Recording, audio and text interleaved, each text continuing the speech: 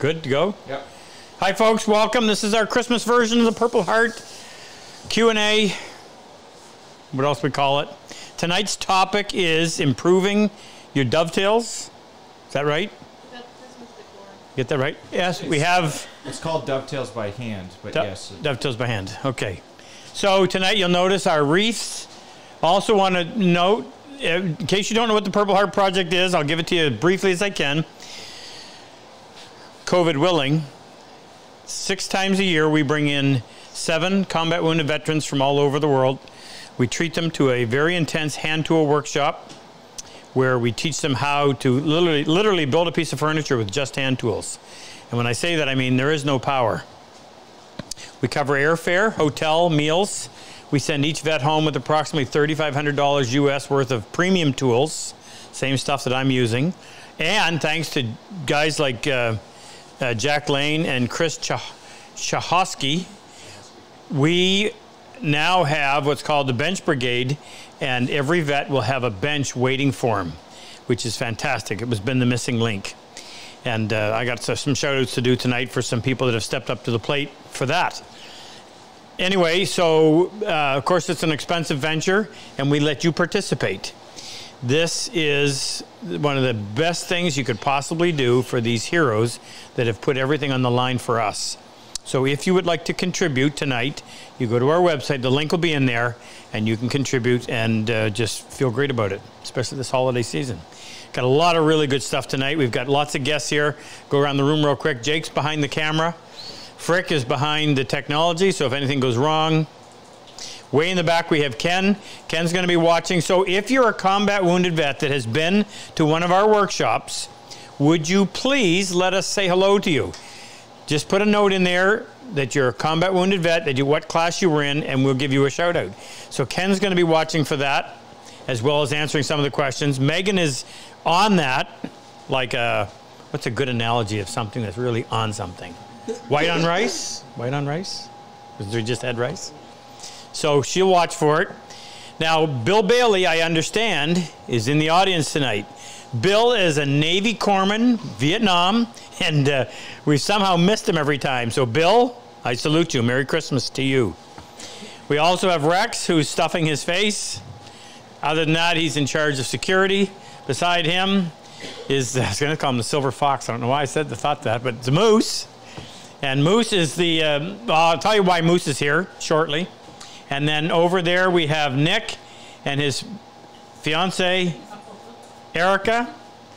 And they're going to be watching this as well. And Luther's on. Super Dave, we're missing tonight. Do we have anybody else on that's helping? So we'll get your questions answered. We'll answer as many as possible. And uh, as we go through the night, I'll tell you a little more about what's going on behind me. And let's go right in and start a question. Start with a question. Have we got one? Nope. We don't. All right. Well, then, while we're digging out questions, we don't even have a we don't even have an, uh, one that came in online yet. All right. No, I, well, I'll pick one myself. Yep. Give me one. Uh, this one comes from Mike Miller in Tucson, Arizona. Hi, Mike. He says, I know when cutting, rip is with the grain and cross cut is across the grain. However, how can you tell the difference between a rip saw and a cross cut saw by looking at them? Saw teeth. He puts Well, of course, the smaller the teeth. Can somebody go shut off the uh, yeah, it's quite loud. the air? It's it's really loud. Here, let's uh, look at it this way because it's easier to see. If you're talking about a dovetail saw, the teeth are going to be so small it's going to be very hard to see. Jake, you you can move. So if you look at this, if you look at this, this is a rip tooth, and if you were to look real close, what you're going to be looking at is the face of the tooth. So this part that engages the wood. And the face of that tooth is typically going to be perpendicular to the run of the blade. So if I took a square and put it on there, that tooth, the face of that tooth would be square to the side. Now, just to tell you a little more, if you also look down there, I don't know if you can notice, but it looks like a wiggly line because each tooth has what's called set. If you didn't, if the teeth were in line with the plate, this, this is the saw plate, you wouldn't get in there more than a quarter of an inch and the saw would bind. So what they do is they bend, uh, each tooth gets bent one goes this way, the next one goes that way. So that when it cuts through the wood, it makes a groove or a kerf a little wider than the saw blade so that it doesn't jam. Secret to a good saw is not to have too much set. So that's your rip tooth, perpendicular face on the cutting tooth, cutting face. On your crosscut, if you were to put a, you'll notice that those that same face that we're talking about has a, a, a has a, a, slope on it, something like that. And the one's cut this one slope this way, the next one is sloped that way, and all the way down the line. Same thing, set. Every other tooth is bent. Turn it sideways. I really can't tell. Now, if you were to look, if you were to look down the saw, what you would see on a rip tooth is this.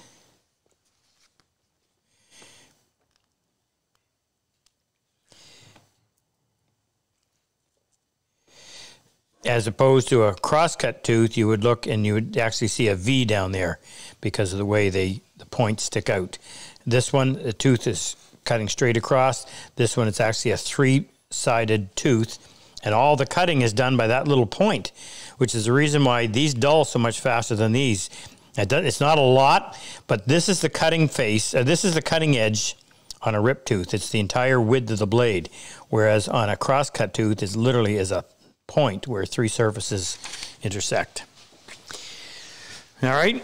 Now, they'll both rip and they'll both cross-cut. However, if you try ripping with a cross-cut, it's going to be very slow. If you try cross-cutting with a rip, it's going to be a little bit coarse. Now, I've done this before, and I'll do it again because uh, somebody mentioned that they, they thought it was a good way of describing it. I'm going to take a piece of pine, and here's a rip. Here's how a rip tooth works. So I'm going. This is the grain is running this way. When I come in with a rip tooth, and those teeth Take out chunks of wood. You see how relatively clean it is? But if I do the same thing across the grain with that saw, with that chisel, uh, rip saw, see how what a mess it makes? So on a cross cut, instead of having that kind of a disaster, you have these sharp points that are going to go in and they're going to score. What's it sitting? There's a screw in there, and I don't know why. They're going to score both sides. This is what the points are doing. This is what the points are doing. So the points are going in and scoring both sides. Then when the uh, that chip gets cleaned out, I didn't get that quite wide enough. Let me go a little bit wider.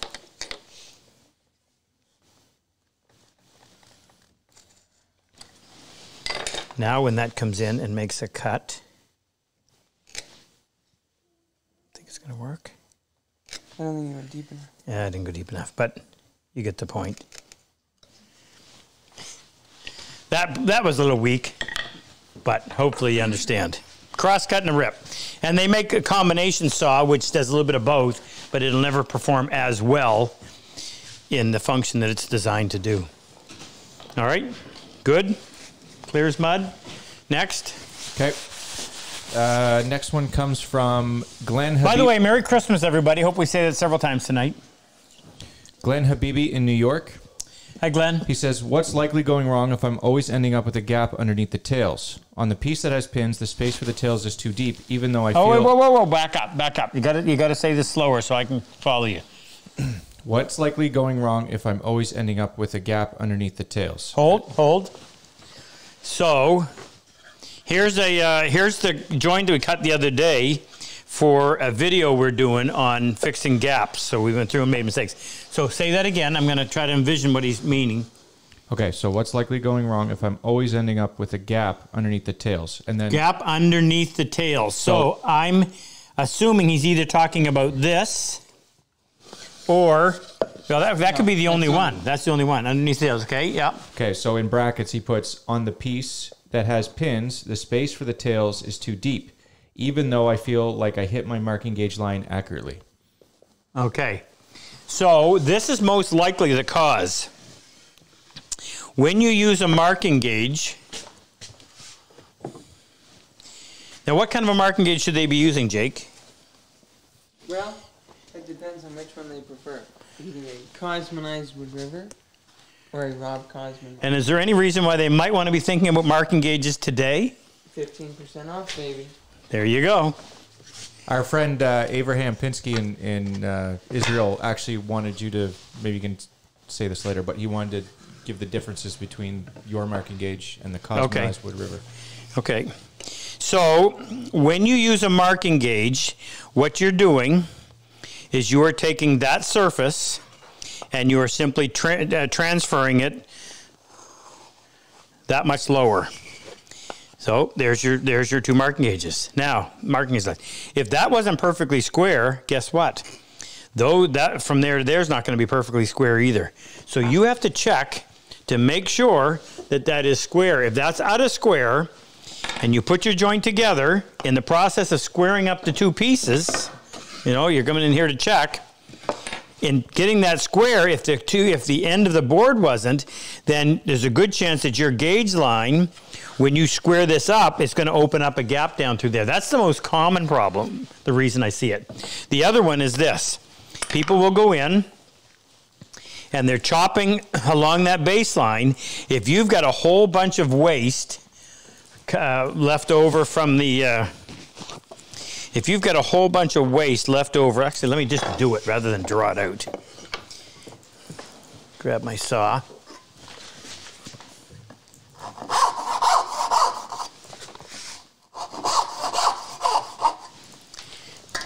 Fret saw.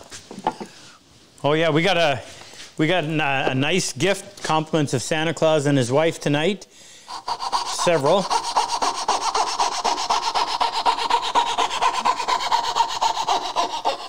People have a real tough time using the fret saw.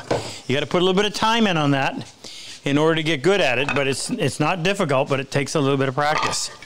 And they end up leaving because of fear that they're going to go below the line. They leave a whole bunch of material here. So this is all waste. If you put your chisel in that gauge line right now and start chopping, there's a tremendous amount of pressure being applied on the bevel side of the chisel. You know, you look at the slope of that chisel, there's going to be, it's a wedging action. Anything on the waste side is going to push on that bevel, trying to push this chisel back like this. And if that wood is not really hard, if that's a soft wood, there's a good chance you're going to end up breaching that line and you're going to end up with your baseline down in here somewhere. So what I always do, if you're not good with your fret saw, come in here and do a couple of chops first to get rid of that waste. Now when you put your chisel in the baseline, there's very little material over here. The chisel gets down into the wood a fair distance before the pressure starts to build up. Well, if you're down in there an eighth of an inch, you've got lots of support preventing that chisel from pushing back this way. So that would be the, probably the lesser of the two reasons why he's having a problem. The lesser of the two reasons I gave for the problem you're having, the one I suspect the most is is just your end of your board was not perfectly square, and that'll always throw you off when you. Uh, it'll always throw you off when you go to square up your joint. Now the other thing you want to check too is make sure that your marking gauge cutter is tight. That's not supposed to roll. That's fixed. Now, Rex, grab me a cosmanized. Oh, never mind. They're right here. Grab me uh, one of mine, please. The, the black ones.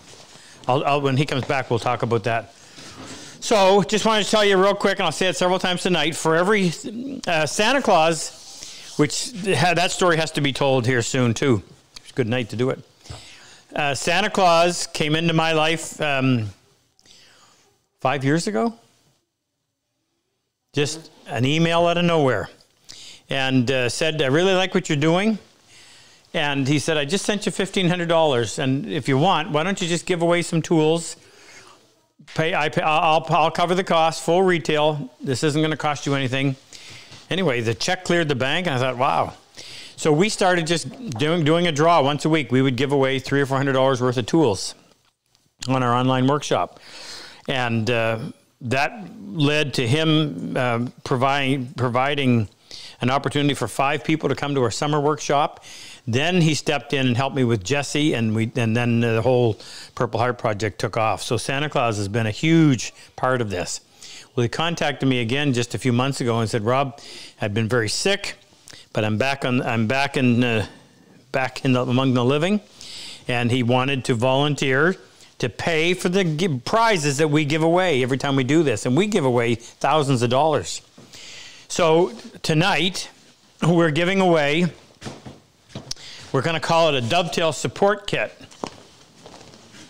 Thank you. And the dovetail support kit includes all the stuff you see right here two cosmanized marking gauges, fret saw with blades, two, two pair of dividers, the dovetail, uh, dovetail book, and we'll all sign it for you. Dovetail marking knife with a sawtooth blade, the dovetail trainer to help you improve your ability to saw. If you don't know what this is, this fits on the end of your saw and that little bubble level, set it whatever you have, will help you determine where zero is, or 10 degrees to the left or 10 degrees to the right. So it's great for helping you develop that feel. The three different videos I've done on cutting dovetails. So I think the value of that was 400 and something. We'll give away one of those kits at every $1,000 increment we get tonight in donations. So if you want to be a part of that, all you have to do is, is there a link on there, Frick? Yes, there is. I'll post it now. Again. Yep, it doesn't cost you a nickel. Just go in there and and uh, say, "Yep, throw me into the throw my name in the hat." We've got some other prizes. I'm going to space it out how we talk about it tonight, and I will cover that shortly. Next question. All right, so two questions related to the same topic, both uh, regarding inlay dovetails. Um, Scott Hobbs from Westchester, Iowa. Inlaid dovetails? inlaid dovetails. Do you know what those are? Nope. But he asked the question. It may Well- just be a terminology thing. Scott wants to know: Do you like making inlaid dovetails? And Ali Al Sawad in Australia says, "How do you cut an inlay dovetail?" Well, gentlemen, I'm, I'm not quite sure of your terminology. So when you say inlaid dovetails, be a dovetail dovetail. pardon? You're talking about a. Uh, Yeah, so you cut that off. You cut this off and then lay your dovetail out again. It almost looks like a outline. Again. Oh, is that something like that they, they do with that Incra jig? Uh, no, you, do, you can do it by hand. Will you find it and give, show me a picture, Nick, and I'll uh, and then I'll address it. I have to make that one up. Okay, go ahead, Frick. We'll All come right. back to that. Uh, Cliff Pollock in Ithaca, New York.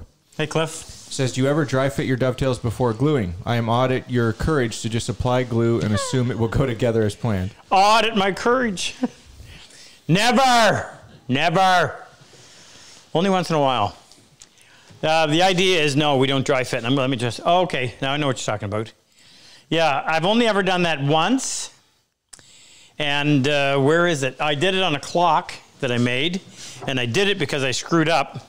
It was a, that was a dovetail from long time ago. So I went in and I inlaid with uh, with maple veneer on a walnut dovetail all the way around it. Ah, you know what? Maybe I'm getting too old, but I'm kind of past that. I, I'm I'm I'm more for the subtle. The stuff that ju- that jumps out at you used to attract my attention, but now it's almost like it's too in your face. So I prefer something like this. There's cherry on cherry, and I just it's there. You see it, and the closer you look, the more you appreciate it. But it's not it's not uh, quite so in your face. So I wouldn't say that I'm a big fan of uh, what you're calling an inlaid dovetail. Do it if you want. Let me answer the question about the marking gauge. So here are the two different marking gauges that we offer. Well, there's not two, there's several. This is the uh, the Wood River, and the Wood River is, uh, as it comes, is not ready to be used. So we uh, we cosmanize it. Um, it's got a different, uh, it's got a calibrated rod on there, but I, I've never known anybody to actually use that. The cutter doesn't come sharp, so we go in and we sharpen the cutter. We cut a little recess so it'll sit down in there. We flatten the head. We also put a flat spot on there so it doesn't roll off. We glue it together so that it doesn't come apart because it's notoriously come, comes apart. The sharpening of the cutter is probably the biggest advantage. On the cosmanized one, we turn these over there on the lathe by hand, believe it or not. That's the same material that we use. That's the same material that we use on the uh, on the dovetail saw. We use we have our own cutters made, and these are half inch with a little more robust. If you'll notice that the cutter on the Wood River, it's um, it's quite acute, and it's almost it's okay for softwood, but you get into hardwood, and it's easy to break and chip. So we we have uh, Paul, my buddy up in Ontario, makes these for us and hardens them, and it's a lot more. It's a much more robust cutter. It'll stand a fair bit of abuse, easy to sharpen, and just works great. So, one's the difference is uh, we make one here, and the other one we just modify here. We have quite a few bets.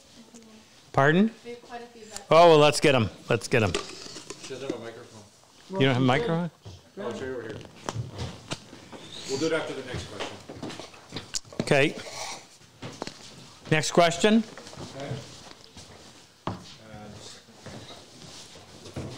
I have a guest. Okay. So next question comes from uh, Richard in New Jersey. When making a through dovetail, drawer, or box, should the pins or tails be visible from the front? Oh well, uh, just to make sure I'm answering that properly, say it again, please. Richard, New Jersey. When making a through dovetail or box, should the pins or tails be visible from the front? Well, you know what? There, there is no answer to that one. There's no right or wrong. You can do whatever you want. I, I prefer to you to put the tails so that you see them from the most visible side. So if you look at any of these boxes that I've done up in here, without any exception, they always have the tails. The tails are visible from the front. And in case you're not catching on to what I mean, here you're looking at the ends of the pins, the ends of the tails. Over here, you're looking at the tail themselves. So this would typically be the side that I would put that you show on the front of your drawer of your, of your box. By the way, this I'll just uh, take you through this real quick. We finally finished this. It's an absolute thrill to do. We just did a video that'll be uploaded on YouTube tonight. No. No, Monday, No. Tuesday. Tuesday Monday or Tuesday. and and it's on this. Uh, it it goes through all of this, and I give you all the details and all the inner workings. If you haven't seen this before, sh- show them the one feature. Are we in nursery tonight? Bye. So this is a standing desk, and the whole idea was to have all the drawers hidden from view, hidden in plain sight. So there's a little trap door underneath here, and you pull the trap door open, allows you to put your finger up in and open the drawer. And then if you want your customer to get a pen, you close the trap door, which creates a seal in there. And when you close this, that little door pops out, and there's the customer's pens and pencils. And it's the same thing on this side. And in here, you have three drawers, again, hidden in plain view, but you reach up underneath, and there's a little hole right here that allows you to put your finger up in, and there's a little wooden V on the underside of the drawer, and that's how you access it. So we're giving this away tonight to somebody lucky. He's gonna. I'm just kidding. yeah, right. Last time I did something like that, Jake almost had an accident. Okay, next. Megan, are you ready? Oh yes, let's have some vets. Uh, is your mic on? It's on in my end. Can you hear me? Megan, one, two, three. You say it and I'll repeat it. Well, they're playing, figuring it out. Um, No, just a sec. Try now. Mark. Yeah, Megan, you is your mic on? It is. Yeah. Yes. Mark Smith. Um, he's on too, but Hey, Mark. Mark T. Pardon? Mark T. Mark T. Oh, just the initial. I'll go back and find it. I didn't Okay. write his last name where he only had a T, initial T. Um, Sean McDermott, Hey, Sean, I just talked to Sean. Merry Christmas, brother. Mark T. Oliver, Mark Oliver. So I got to show you about Mark Oliver. Mark gave me my very first, Far left. my very first challenge coin. That was it, right? Mm-hmm. I didn't even know what they were. So Mark, I keep it right there on my bench. And if you don't know what a challenge coin is, they're a military thing. I can't give you a really good, ex- uh, a really good uh, definition, but I've had several given to me, and I appreciate them very much. Merry Christmas, Mark. Who else? Um, okay, so Mark Oliver, Sean McDermott, Philip Lawrence, Hey, Philip. How do? Merry Christmas. Jake Tarola. Jake, brother, where are you? So, smells like moose, this jersey. So, uh, let me just explain this real quick. So, we, uh, we uh, play a fair bit of hockey up here. What else is there to do in the Canadian winter? Spring, summer, and fall. And um, we decided, so that these guys would know that they were never going to be forgotten, we had jerseys done. Purple Heart Project logo on the front, and uh, I sponsor it, and another friend of mine um, that we play with sponsors it as well. And then each jersey has the name of one of our previous vets on there. Now, a lot of the jerseys have been already handed out to the guys that play, but these are some of the ones that we still have. And this is this is Moose's, but I asked him to bring it in tonight. So this is um, Staff Sergeant Jake Tarola, who was a uh, forward observer, lives in Minnesota, and came out and played with us twice while he was here. Happened to mention that he liked to play hockey. He's actually a goalie, but he did pretty good playing forward too. So I'll uh, mention some of these names as I as we uh, hear from them tonight. Um, Jake, uh, Gary Burnett. Hey Gary, Gary's always on. Where, Yes, who's got Gary. Gary? I, I saw I saw Gary's jersey the other day. Um, hopefully, I sent you a picture of the guy wearing your jersey. Uh, Pete. Pete. Pete Ambrose. Pete doesn't need a last and name. he his question is, can Pete make a dovetail? Well, let me see. So uh, I got to tell you about Pete Ambrose. Pete Ambrose has a spot in my heart that will never go away. Pete is a world uh, is a uh, sorry I was going to say World War II. Pete is a Vietnam vet who also fought uh, who stayed in the military and fought in the first Gulf War. And when he came to our class, he was uh, very quiet, very shy, and um, yeah, we had some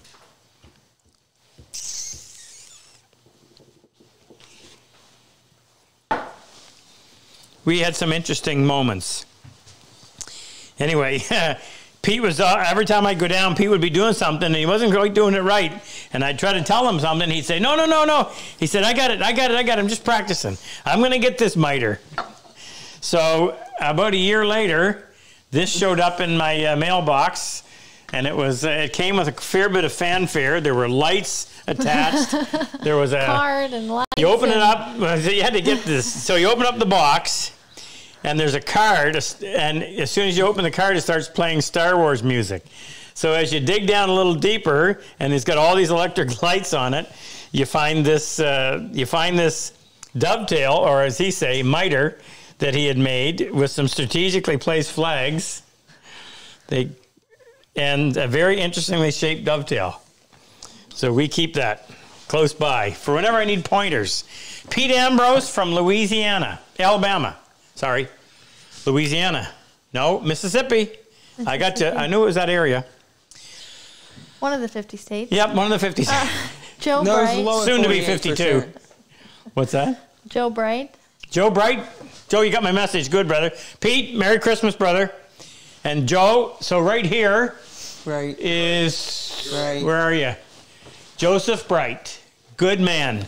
Joseph Bright was my right hand man in helping Jesse, and I will never forget that. Good man. Merry Christmas, Joe. Kevin Smith. Also a hero. I read his commendation, how he uh, how he got severely injured saving a group of soldiers. Yep. Who else? Kevin Smira. Kevin Smira. Brother Kev. Kevin is, Kevin's right here. Staff Sergeant Smira. Kevin's a good guy. Also, this is Kevin's flag that he gave me. Where's the flag, Jake? Oh, it's up underneath there. Well, you can't see it because we got all these and things. But anyway, Kevin's flag that uh, I know he flew, he traveled with him a lot. So, Merry Christmas, Kev. Ray. Cool, Ray. Cool Ray. So Ray is just uh, salt of the earth. Ray is from Louisiana. He's a Cajun, and Ray was uh, was Vietnam. And Ray, Ray, oh, you telling me I'm going too long? All right, all right. Save some, and Just we'll come repeating back. what Luther's saying. Ray drove, what's it called? A mule. A mule. So if you don't know what a mule is, go and look it up on Kijiji, on uh, whatever. Where do you look things up? Kijiji. Google. Kijiji. Buy yourself a mule. Go to Kijiji and look up Vietnam era mule. It was a, it was a coolest looking little thing. He means Google. Yeah, I mean Google. And I still can I can never get that picture out of my mind of of Ray driving his mule down the road while the while the mine sweepers are going up the same hill clearing mines and he's coming down through it. Yeah, just follow my tracks. And then and I'll Merry stop there, Christmas, but Ray. Mark's on. Mark? Mark Smith. Mark Smith. Hey brother, you haven't seen you in a while. Come down. And Mark Smith is right here, front and center. Mark's Canadian vet. Okay, question. Oh, time ready? Okay, I'm not sure how I'm supposed to introduce this, but I'll be very I'll be very non-specific. Um, ever, uh, whew. we are lucky to still have some of the uh, greatest generation with us. So we decided back a couple of months ago that we would dedicate the area, the time before and after Remembrance Day, Memorial Day, towards honoring these uh, these surviving heroes of World War II. And we were lucky enough to find a couple that were still alive. And uh, we, I, I don't know if Herman is on tonight, but if you saw Luther's documentary on Herman, you saw something that was fantastic. And the fact that he was on, we were able to communicate with them. So Luther has put together another documentary. I won't say anything more other than watch it, enjoy it, and we'll talk as soon as it's over. We ready to go? Okay, I want to get over where I can see it too. Here at Rob Cosman Woodworking, we make it our mission to honor the men and women of the armed forces, past and present. We are particularly proud to honor those who served in World War II. We call them the greatest generation. Tonight, we want to take a moment to honor all servicemen by telling the story of a few of the greatest generation who served in the 717th Bomber Squadron of the 449th Bomber Group. Casper and Elizabeth Harris lived in New Jersey and were raising their five children when America entered World War II. Four of their children would join the military and serve the nation in its time of need. In 1941, on the eve of the attack on Pearl Harbor, Rob Harris was graduating from the Casey Jones School of Aeronautics as a government certified aircraft mechanic. A year later, Bob was drafted into the Army and was an obvious selection for the rapidly growing Army Air Corps. Bob reported to Davis Monthan Field, Arizona, for crew training in America's newest bomber, the B-24 Liberator. Compared to the B-17, the B-24 had a longer range, a higher top speed, a heavier bomb load, and a quantum leap in wing design and performance. With approximately 18,500 units built, the B-24 holds the record as the world's most produced bomber and America's most produced aircraft. Used extensively in World War II, it served with American and Allied air forces and saw use in every theater of operations. The B-24 was less comfortable than the B-17 since it was produced during wartime and creature comforts were exchanged for production speed. Idle gunners had to sit on the floor. It was also colder and spot heaters were inadequate. Drafts seemed to be everywhere. Moving around the inside of the B-24 was awkward when wearing full gear, and jarring collisions were often encountered with aircraft structures and equipment. Nevertheless, the B-24, with a trained crew, was a deadly weapon capable of delivering twice as many bombs on target as a B-17. A bomber crewman was an incredibly dangerous job in World War II. Crews had a 71% chance of being shot down and killed or captured. By the end of the war, over 100,000 American bomber crews paid the ultimate price. In Arizona, Bob trained as a tail gunner. The tail gunner manned two 50 cal machine guns in a rotating turret at the rear of the aircraft. The turret was extremely cramped, especially when the entrance door was closed. The tail gunner was the lookout, defending his aircraft from enemy fighter attack from the rear and warning the crew when the enemy was approaching. The tail gunner position was especially vulnerable with the average combat lifespan being two weeks. In October of 1943, Bob was transferred to the Bruning Army Airfield, Nebraska, where he joined the newly formed 717th Bomb Squadron and was assigned to First Lieutenant Hal Morton's crew in the B-24 named Shack Happy. Bob is circled in white in this picture. Bob and the crew of Shack Happy, along with the rest of the squadron, conducted advanced training in formation flying and precision bombing before shipping overseas. In December of 1943, the 717th Bomb Squadron flew from Nebraska to its combat station at Grottaglie Airfield in southern Italy.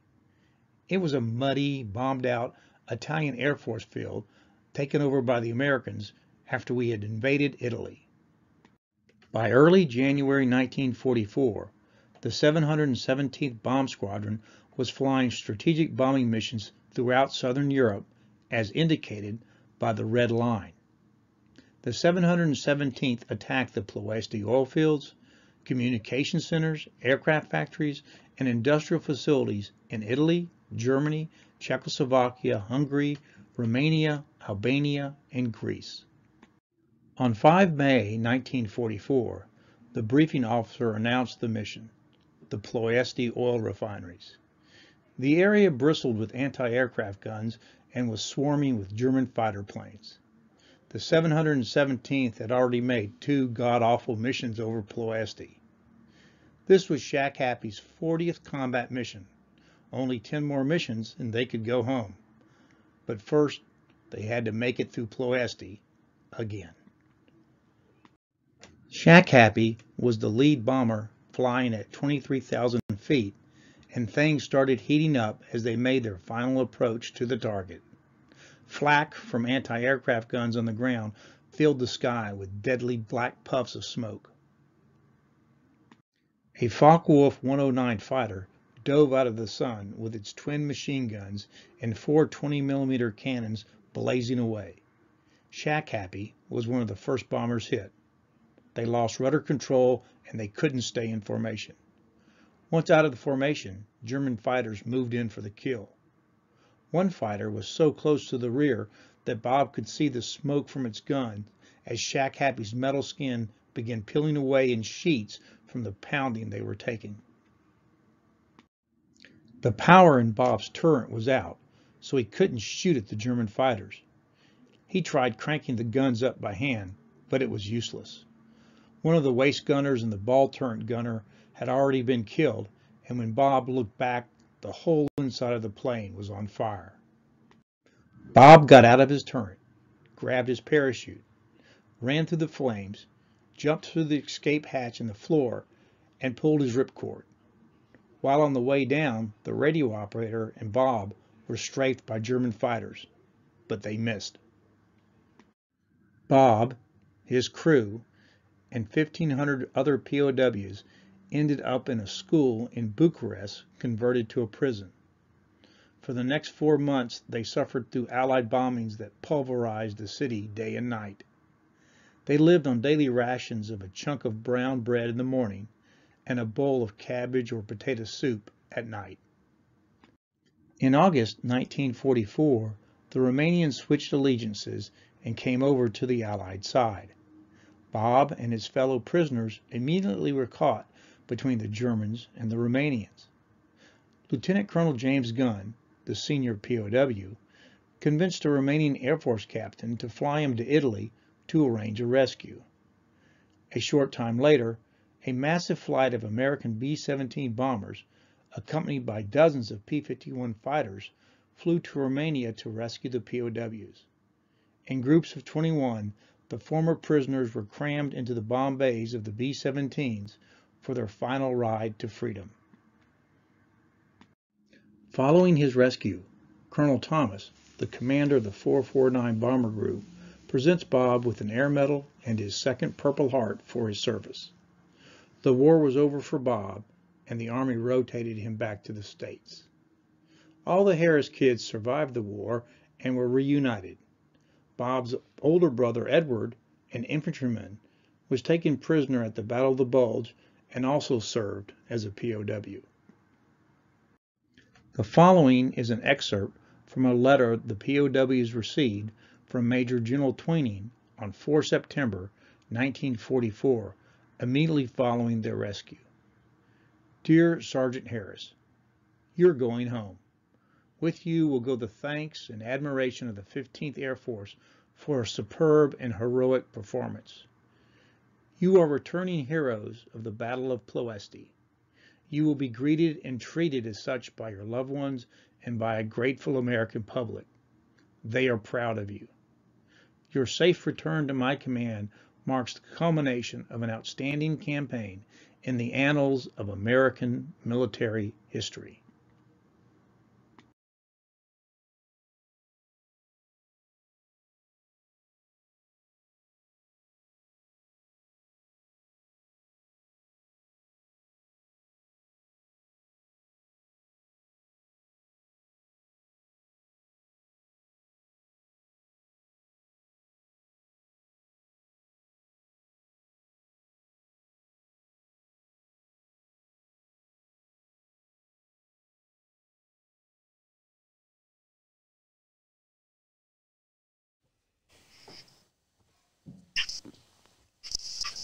Bob, They're talking to you. Yes, how are you? I'm doing pretty well. It's an honor to be in your presence. I, I just did what I was supposed to do. That's just it. That's just it. You did it. How are you? Fine. Was that the delay? Honor to be in your presence. He's got it in the back. What I, what I had to do. We need him to do? Shut it. Denise, if you can, uh, Denise, if you can pause the live stream on your end, You did it. we're getting, uh, we're getting a second feed.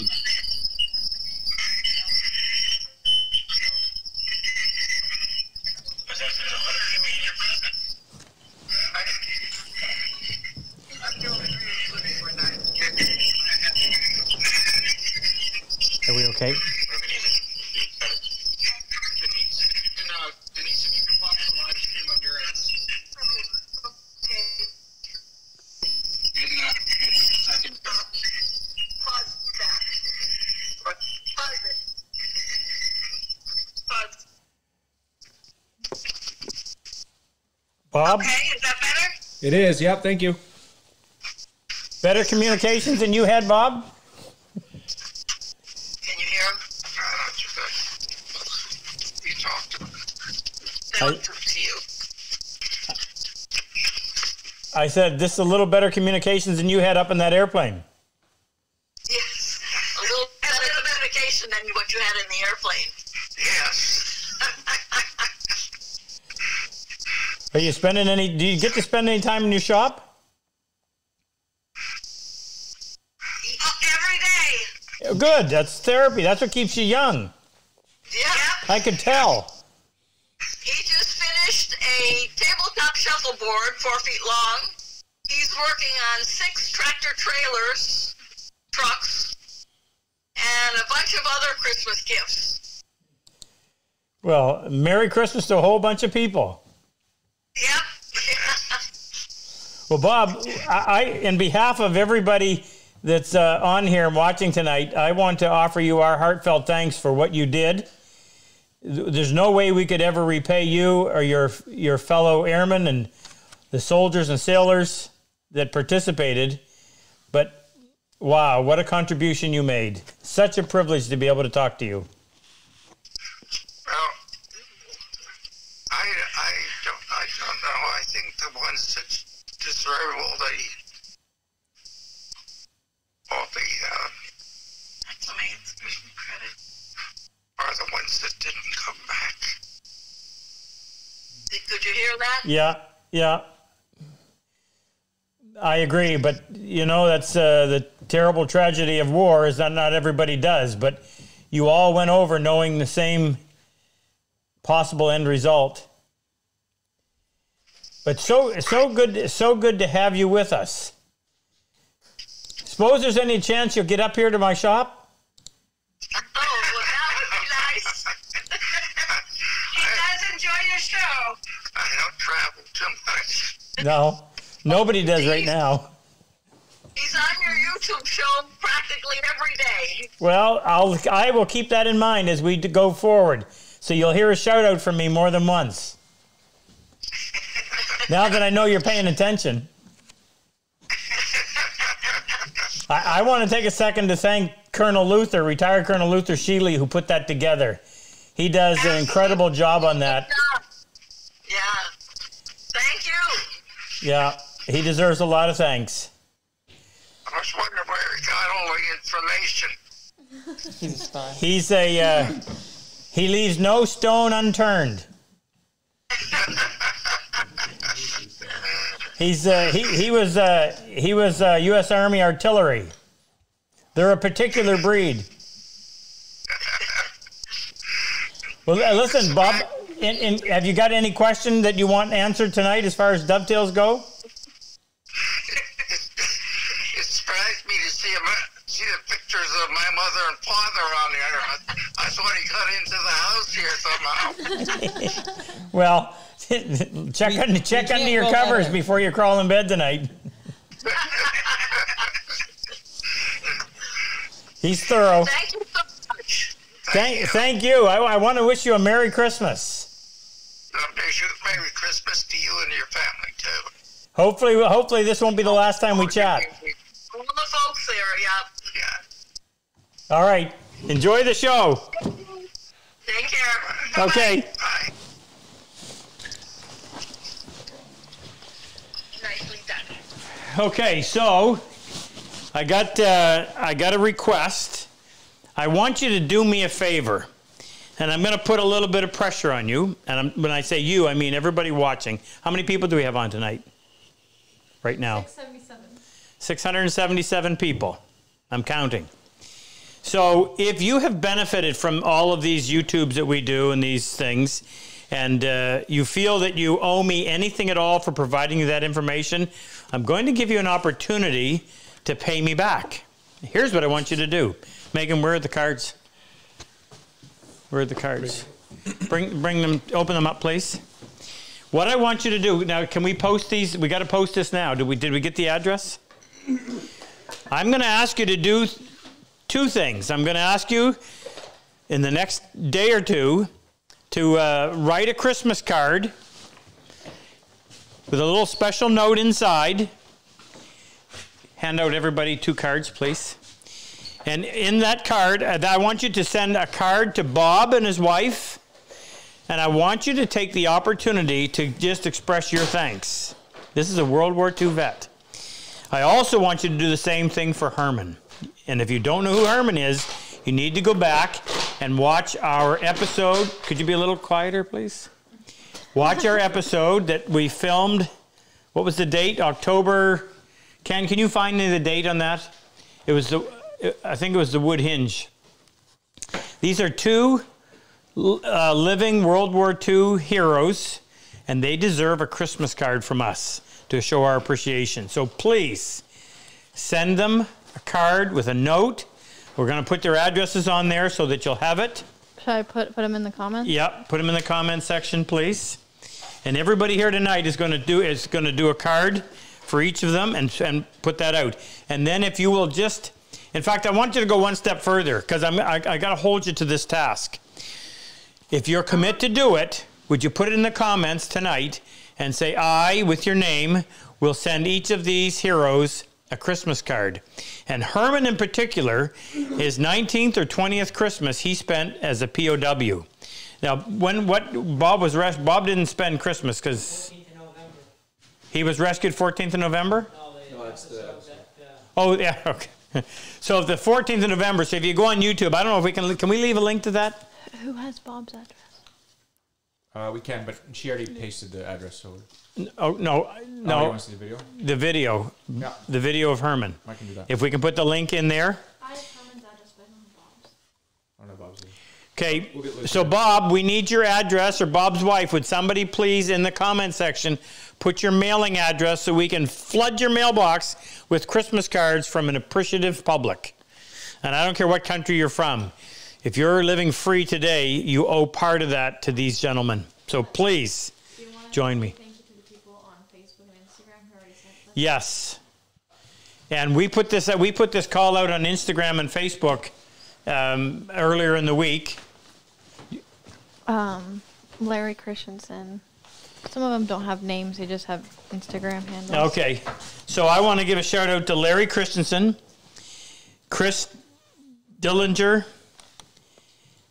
Uh, some of these are, are what do they call those? Instagram handles. Instagram handles. Dave Kemp, William Mont, Mort. I didn't know you were going to Yeah, reading obviously. I'm going to ask Megan to read it because she wrote it. So these people. So I, I want to Well- see that. I really want to see that comment section jammed, please, with people that say, Rob, I will send each of those gentlemen a Christmas card. Please. Adam Terrell, Adam Terrell, William Moritz. William Morris, There was an MSA worker. That was an his MSA worker, Instagram handle, and then a Vorak Furniture. Vorak Furniture. You know who you are. So just give me a, keep me posted on how many people are saying yes, I will do it. Okay, next question, Frick. All right, this question. Oh, my camera is frozen. All right, they don't get to see me. Uh, this next question is from Dan Vasquez in New Jersey, and he's wondering: Are dovetail chisels important to the process? Our dovetail chisels. Now, when he says a dovetail chisel, some people call a half blind, uh, pardon me, a beveled edge chisel a dovetail chisel. So I'm going to answer this question in two ways. If you're referring to this as a dovetail chisel, and it's it's called that because the slope on the side or the bevel on the beveled edge chisel is designed to allow you to get in between the two tails without bruising the side of them. So absolutely. If you're talking about a half blind dovetail, which is this that we make here in the shop, that's a chisel that allows you to get into if you can imagine a half blind where you don't get full access. Know, when you're when you're chopping out this area right here where the tail's going to sit, you've got to be able to get into those corners. And you can't do it with uh, a regular chisel because the regular chisel is going to hit the two sides before it gets into the corner. We make these half blind chisels that are sharp on the side as well, and I would not cut a dovetail without it. It's that it's that advantageous. And by the way, if you're looking at that dovetail and saying Rob really really lost it, Frick, that one. yeah, for- this one was done like that on purpose so that we could show you how to make repairs. He could be referring. I know Blue Spruce makes dovetail chisels, and they're just a. They're a Just a beveled edge. skin- no, they're Oh. a skinnier chisel. Yeah. Regular beveled edge chisels. My recommendation are IBC, first choice, Wood River, second choice. How many people have said, yes, I will send a. A lot. Good. Keep it going, brothers. I appreciate it. Uh, I shouldn't say brothers. And sisters, yes. I, did. And Oh, sexist Bob's name. address was also posted. Pardon? Bob's address was also posted. And Bob's address is on there. Please, I want you to flood them with Christmas cards. Show your support. I think this is awesome. You guys all done your cards yet? Do you need a pen? Do you have a pen? Okay, pass it around, would you please? I actually already took them to the post office. I have lots of pens. You did? Here's your pens. Bob and Oh, Herman. Open the drawer. There's two Bob really and nice Herm- pens. Bob and Herman need to hear from you. A card for Open each. that drawer. I will mail it. You put it in the envelope. I'll take care of the stamp. Wow, the generosity floweth. It's got to happen. It has to happen. These have to know. We we may not have many more Christmases left where we get to celebrate this way, right, Ken? Right. Now, Ken's father-in-law that you've heard if you watched our all our episodes, his father-in-law fought Battle of the Bulge. Moose's father, speaking of tail gunners, Moose's father flew in a Lancaster and he operated the gun that was in the midships up top. And he took some shrapnel from that. And listen to this Erica, way over there, Erica's grandfather, who is still alive, how old is he? 95. 95. And where did he? You don't know. He was in World War II, but he's never talked about it. And we are trying to see if we can't get through to him because I think that would be awesome. Imagine if we had him here. Wow. That would be incredible. And Frick's grandfather was in World War II as well. I had a grand uncle that was in World War II. My grandfather was a farmer, which were considered essential workers. Okay, next question. All right, next question comes from Vinny Izzo in Kingston, New York. And he says, Can I use a quality tenon saw for dovetails? Vinny in New York, yes, you can. By a quality tenon saw, I'm sure you mean a Cosman tenon saw, so yes. Now, the only, the only distant diff, disadvantage is this um, it's a rip tooth, narrow set, so it has everything that all the qualities you want a dovetail saw. The difference is the uh, it's a heavier, bigger saw. It's also a, there's a greater depth from the tooth line up here to the heavy brass back. So if you don't do this a lot, you get a little bit of instability that way.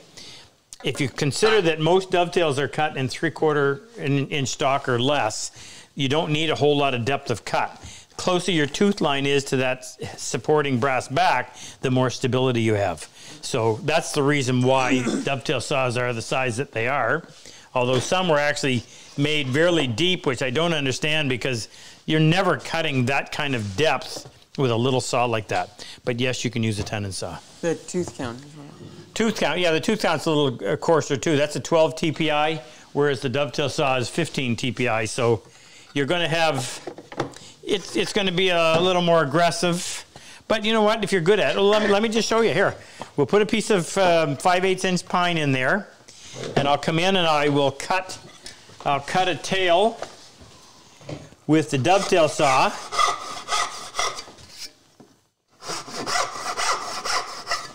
And then we'll use the medium tenon. Oh, pardon?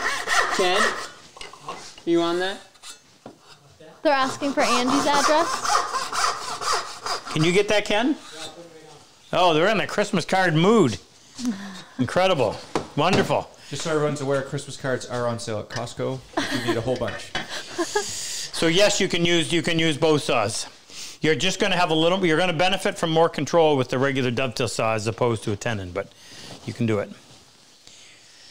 Yeah, how the are we getting flooded with people saying? Okay, let's go back and say hello to a few more vets. Do we have some more than there? Yes, we do. Um, Brian Klinkham. Oh. Oh, so I had a great conversation today. I called, I called um, a customer. I call customers that uh, that purchase from us. I just feel I owe it to them to say thank you. So this guy's name was Klinkhammer. I thought there's got to be a history behind behind that. So uh, I called Brian, called Brian up, said thank you, and we got chatting. And his father was in Vietnam, and he was a major, and his brother served, just retired not that long ago, and he uh, rose to uh, um, a uh, Lieutenant Colonel. no colonel. And uh, of course, if your name was, if you're in the U.S. Army, and you're a colonel, and your last name was Klinkhammer, what do you suppose everybody called you? They're too young. Colonel Klink of the of uh, Hogan's Heroes fame. So I had a good laugh over that, and I called Luther to see if they may know him. But anyway, so um, how do you do? Merry Christmas! Glad you made it on. All right, next question. Charlie. Oh, Oh. Charlie. Charlie's on. Charlie, Charlie. Ray. Hi, Charlie. Merry Christmas, brother. Who else? Bob. Bob Abbott. Bob Abbott. Robert. Glad you got your uh, heating problem solved. Now you'll have an even warmer, merrier Christmas. Devin Wright. Devin Wright's on. I just talked to Devin earlier. Have Devin. Thank you. Have a Merry Christmas. And he and his wife are both. Oh, I bet- I probably shouldn't say that. Anyway, uh, all the best to you. Everything will be fine. Um, Joshua Brand. Brian? Oh, J- Josh Brian. Yeah, really, Josh? Hey, brother. Good to have. Josh is a Canadian artillery combat wounded vet from British Columbia who just got his bench a couple of weeks ago, delivered by a couple of guys in Alberta that drove eight hours each way to deliver it, which I thought was just fantastic. But and Josh has a new baby in his life. He and his wife. I hope everything is wonderful. And Kevin Burris. Kevin, Kev, brother, how are you? Kev is a uh, combat wounded vet. Kev was uh, EOD, stands for Explosive Ordnance Disposal. So their job were to disarm bombs. And uh, Kevin experienced more than one blast that went a little awry. And anyway, Kevin, uh, great guy, super guy. Kevin brought this to our attention, which happened to be our number one selling item so far this year. This is our um, our uh, plain wax. We call it the Rob Cosman's Magic Wax. And Kev's the one that introduced us to us. So I, I said thanks to him before, but I'll say him thanks to him again. Merry Christmas, Kev, you and your wife. Anybody else? Next question. There for, was a Chris Mormack that was a disabled vet that can. Chris Warmack. Was he- I don't. I don't call that name. Was he in our class? I don't know. Ken had the name written down. No. Merry Christmas, Chris. Go ahead for next question. All right. This next one comes from TJ Leonard in Boston, Massachusetts. Hey, TJ. He said, Should you start making dovetails with a guide, then go freehand, or is it better to just start learning freehand and not use a guide? Did I hear guide? What? No guide. No guide. Learn to do it right. Do it right from the first. By the way, somebody asked me about uh, dry fitting too, test fitting, so I want to address that too. If you can, if you have the manual dexterity to tie your shoes, and you have the interest, you can cut dovetails. Let me just take you on a quick little tour. Oh shoot, I can't. Sorry, they're up in there behind the jerseys. But I, uh, I teach hundreds, thousands of people to do this. I think our oldest student we ever had was 88 or 89 out in, uh, out in Boise, Idaho. His name was Bob. And uh, he did it. Anybody can do it. No guides. Just do it. Just follow my advice. Follow the video we did. We produce hundreds of them on cutting dovetails. You cannot go wrong. But you have to have the right saw. Let me address that. I'll tell you real quick. So, when it comes to cutting a dovetail, what you're trying to do is get as perfect a joint as possible. And what I mean is where two pieces of wood come together. So, it's all about your saw. And I've often said 70% of your ability to cut a dovetail is the saw you're using. Will that saw A cut straight? Now, here's what's so important about straight. Straight simply is defined as the shortest distance between two points. It has nothing to do with angle. If a cut is made that is straight, it will produce two flat surfaces. So you take your saw and you make a cut, go down as far as the saw will allow, then take that piece, put it on its side, and cut that piece off. Okay. If you have a good saw, when you put it back together, the joint will be hidden. See that? Spin it around so we're not matching um, grooves. You see how well that fits? so you have two flat, smooth surfaces. If your saw doesn't do that, and you now have to come in with a chisel and try to clean that up, pare it, is what the word is, your chance of success rapidly decline. You need to have a saw that will produce two flat surfaces. So when the pit, side of the tail and the side of the pin come together, you get a good glue joint. 70% of your ability to do that is right there. It has nothing to do with you. Megan, have you ever used a dovetail saw? You wouldn't lie to anybody, would you? Would you come here, please? So I'm going to ask Megan to come up. Has never used a dovetail saw. I can't believe Jake's allowed her to go that long. Has Jake ever used a dovetail saw? so you know three finger open pistol grip, Super Dave right? challenge you to say that? No, on. Three finger, I know, but one second. like that. Okay. She's Okay. an American. She wouldn't know how to hold a gun. yeah, right. Oh yeah, better than you. Okay, make a cut somewhere right about there. Use your other finger to help support it. go down about uh, oh about an inch. Oh, You can use more of the saw. I mean, you can come all the way to the handle. There you go. Keep going. Keep going. A little farther. That's good. That's good. Perfect. Thank you. Now, what did I just say? Uh, How did I, how did I define straight? I didn't even listen. I don't know. And she wasn't paying attention either. Shortest distance between, this is a perfect uh, candidate. Shortest distance between two points. So I'm going to put a straight edge on there and you tell me, did that cut you make, is it straight? yes. Yes, perfectly straight. We Thank you. We couldn't see it on the camera. You couldn't see it? Oh, here. Look at that line. Okay, so there's my straight edge. There's the saw cut that she just made while not paying attention. And you see, it's perfectly straight.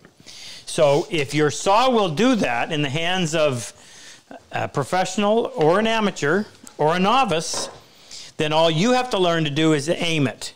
You've got to get it going in the right direction, but you don't have to worry about providing a nice straight cut. The saw does that by itself. Listen, we don't need to sell any more of these. We're tapped out now as it is, trying to keep up with it. But if you want one, we'll gladly make it for you. When you decide that you want to be good at dovetails, get my saw and get on with it. And in, in less than a week, you'll be cutting a dovetail that you would not have thought possible. Now, we take it a lot farther than that. That's why we're offering tonight to give away as many of these kits as we get $1,000 increments in our donations. And all the stuff here, along with your saw, is what's going to enable you to be able to cut that kind of a joint. Anybody can do this. There's nothing special about what I do other than the fact that I've done a lot of it. But I can take somebody brand new and they can produce a joint, a dovetail, in that first attempt that will rival mine. We see it every time we go out and do this. In fact, we usually see it eight or nine times out of every 12 students we have in the class produce that kind of a joint. Now, I want to tell you what else we're going to give away tonight. So, my friend Moose over here, we play hockey together five or six or eight or ten times a week. And Moose runs a, uh, a, a Moose is retired from his one career, and he operates a, uh, a gift shop inside of the oldest market in Canada, and sells all kinds of interesting stuff that's unique to the area. And uh, big supporter of what we do. He has to be a supporter. His dad fought in World War II, and Lancasters weren't any warmer than the B-52s. So anyway, I asked him, so what do you got that would be interesting that we could that we could draw? And he told me, he said, Rob, he said, we got this one sweater. He said, when kids walk by, they come over and hug it. It's so cozy. And in fact, he said something to me about, he said, it's like holding a cat. Well, that morphed into the dead cat. So now we have what's called the dead cat sweater. And how many people? so I go, I can't shut up about something. If I find something I really like, I'm going to tell everybody. So I walk in the dressing room, and a bunch of the guys that now wear them because they're so warm. One actually has one just for changing oil on his car. Uh, should we uh, should we show the picture of Rob and the dead cat sweater? Sure, you can. So this is as cozy as it gets. I'm going to tell you what happened. It was it was a couple of weeks ago, maybe a month ago. Everybody else had left on a Saturday night, and I was cleaning up, and it was kind of chilly in here. And there was one of the dead cat sweaters laying there, and I went over, and it was an extra large, and said that'll fit. And I put it on, and I thought, oh, this is incredible. It just it's the warmest thing I've ever worn. So we're going to give away a dead cat sweater tonight. When we draw your name, you'll tell us in the next couple of days what size you want, and we'll uh, do our best to get it out to you. So, dead cat sweater's up for grabs. And then, if you'd like to be the boss, but you can't at home, at least you can wear this when you're away from home.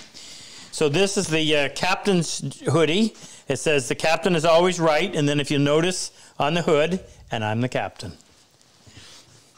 And then, uh, I don't want to cause a stampede of calls, but we've had this modeled in here. It's turned out to be very popular. And this is the Naughty Girl shirt, made famous by one Frick Naughty. One and only not. And two of my friends.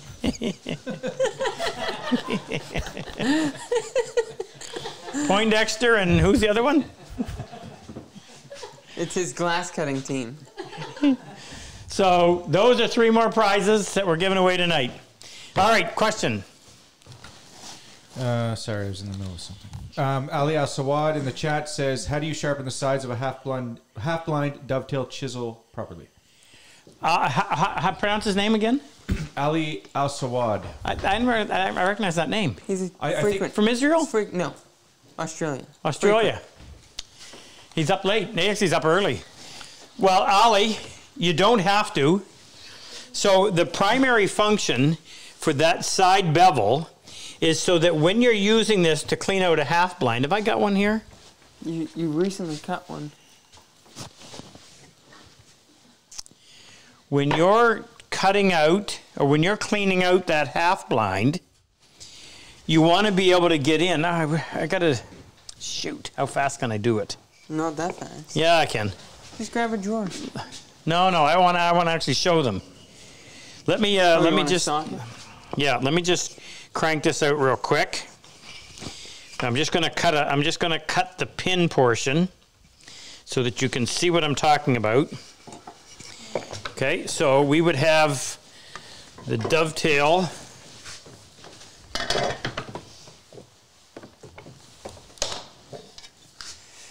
Um,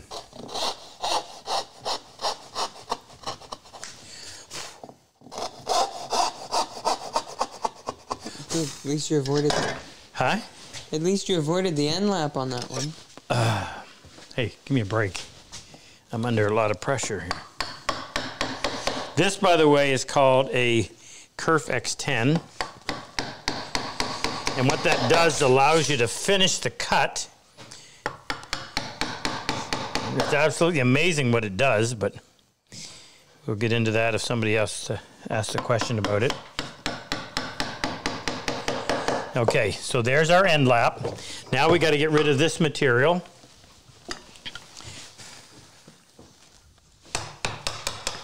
Whoops. I can't believe I did that on my bench. Oh, shoot. I got to uh, mark. I've got to mark on the back of my chisel as a depth gauge so I know how far down I need to go. If you don't, it becomes a very difficult process.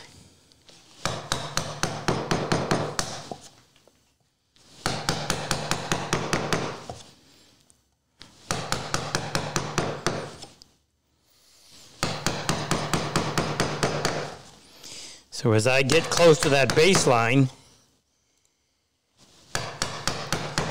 I've got to take my chisel right to that mark. Now I can put it right in the gauge line and finish it. Okay, now stand this up here and we'll start getting rid of all this material. If you take multiple small chops like I was doing, those fibers just break, crumble, and it becomes very easy to clean them out. You want to sneak up on that end lap. You don't want to put, if you put your chisel in that gauge line too soon, the pressure on the bevel side may break off that little end lap. So be careful not to do that.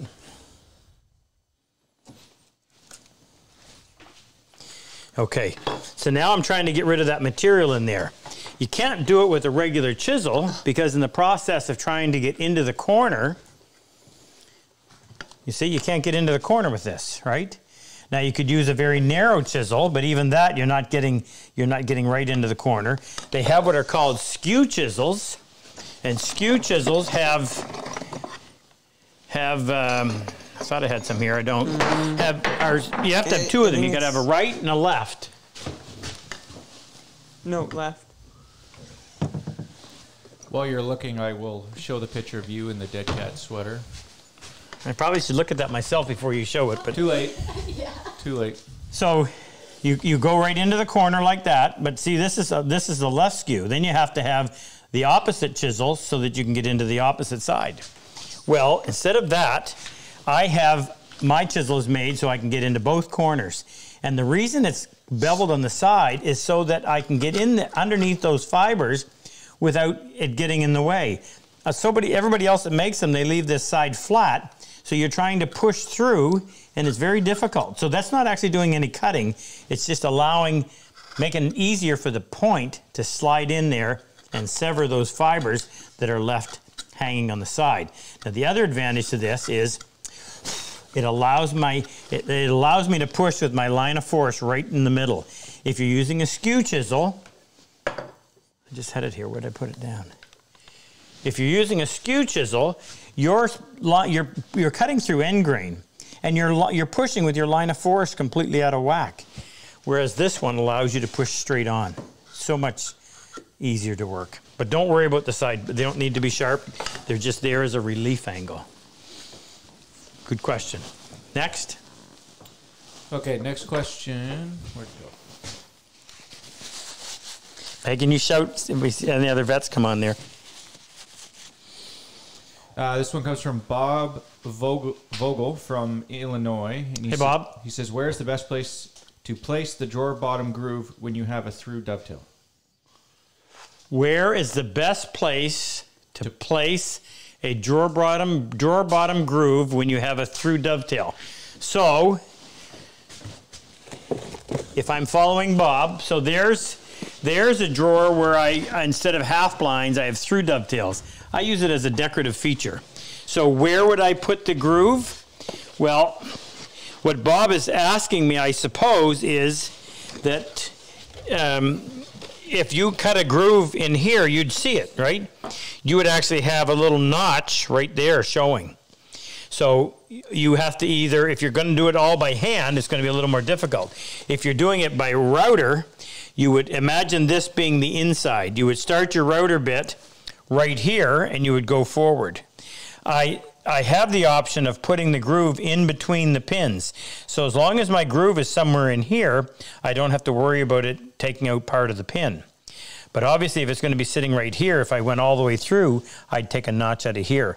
So I can either use a router and start right here and go, or I can do it uh, with marking gauges and, uh, and a router plane, which is very tedious but doable. And the other option is that you can use, well, there's actually several other options. One would be you can use what's called a stepped dovetail. Have I got an example here? We just made some. Hmm. Where?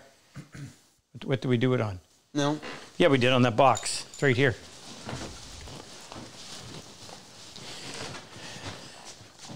The T.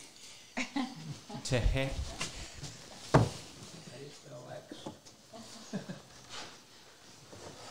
Tahi.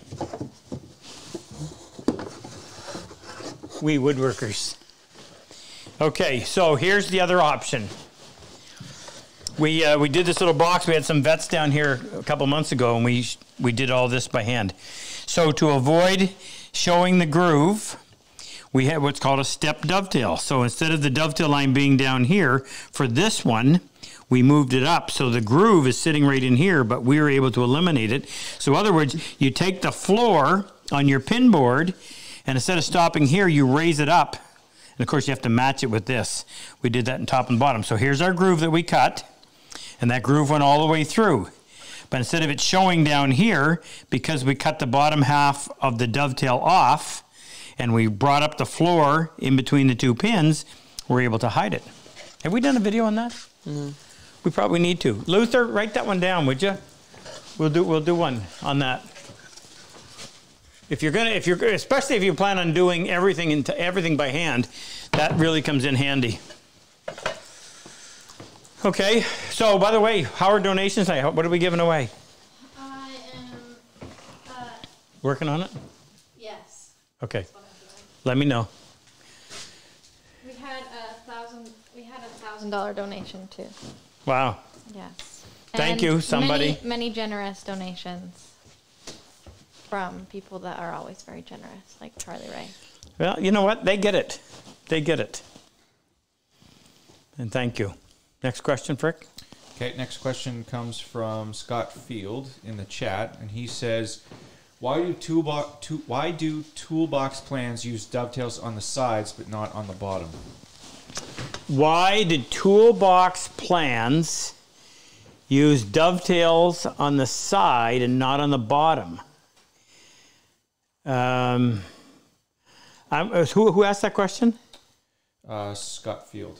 Scott, I, I, I don't, I'm not 100% sure I'm answering this the way you want, but dovetails are always cut on the end of a board, never on the side. So are you asking me why we cut dovetails here, but we don't cut dovetails along here? If that's what you're asking me, please let us know and I will address it. I, I got to make sure I'm, I'm addressing the right question. Next, while we're waiting on that one. Okay. Um, also, By the way, I, I want to shout, I want to give a shout out to my daughter Erica. Erica provided a meal for all of us tonight. How was it, Moose? How many servings did you have? We had to ask him to leave. Very heroic that I only had one. So Erica made what's called Chinese Sundays, which is a Christmas treat that we always have. And then she made uh, apple crisp. Uh, it's delicious. And she works tirelessly. She tolerates frick too. Who paid for the ingredients? Who paid for the ingredients? Actually, I think it was you. Yes, probably was. well, for once. um, Phil Frick usually Lawton gets up says with- hi. Hi, Phil. Merry Christmas, brother. Go ahead, Frick. Next question. All right. Next one comes from Branko Razanowicz. Branko, I haven't, I haven't heard from him in a while.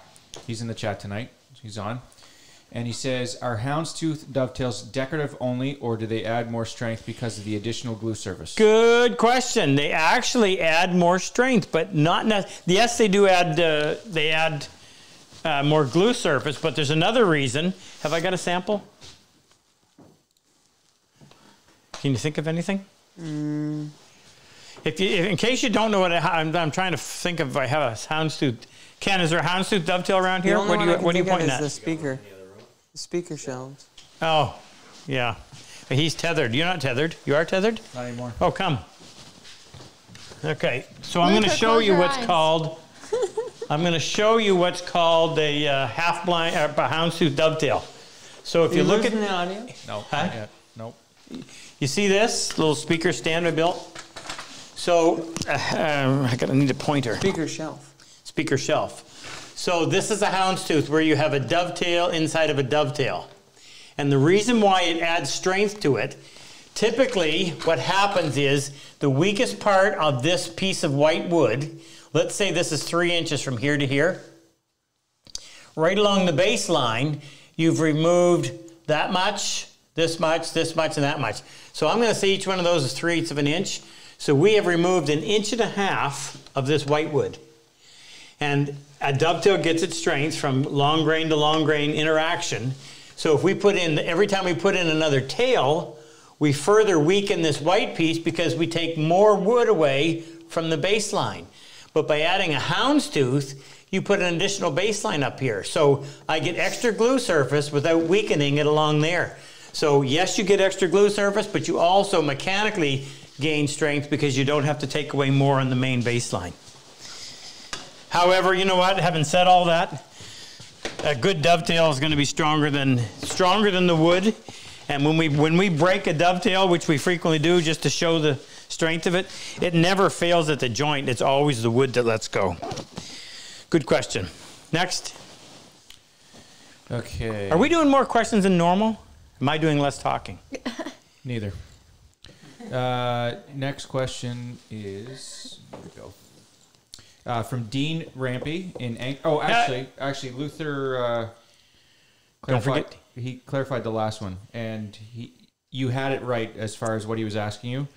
Uh, why a groove to hold the bottom instead of dovetails for the thing that you were showing? Yes, yes, because we never you never cut dovetails on the long grain side because there's no strength this way. Then they would just snap off. In fact, try doing it. You'll probably break them off when you're assembling them. Dovetails are always cut on the ends of the board. What's Dean Rampy having to say? Hi, Dean. Merry Dean- Christmas, brother. Dean Rampey from Anchorage, Alaska says several months ago you demonstrated a technique where you used the dovetail saw instead of the marking knife to transfer the cut line to the tailboard uh, on the tailboard to the pin board. Yeah. Are you no longer teaching this technique? No, no, I still do. It's just this is the problem. Oh, oh, wait, wait. I'm sorry. Say, say, I, I- I misunderstood. He's Cutting through? yeah. Yeah.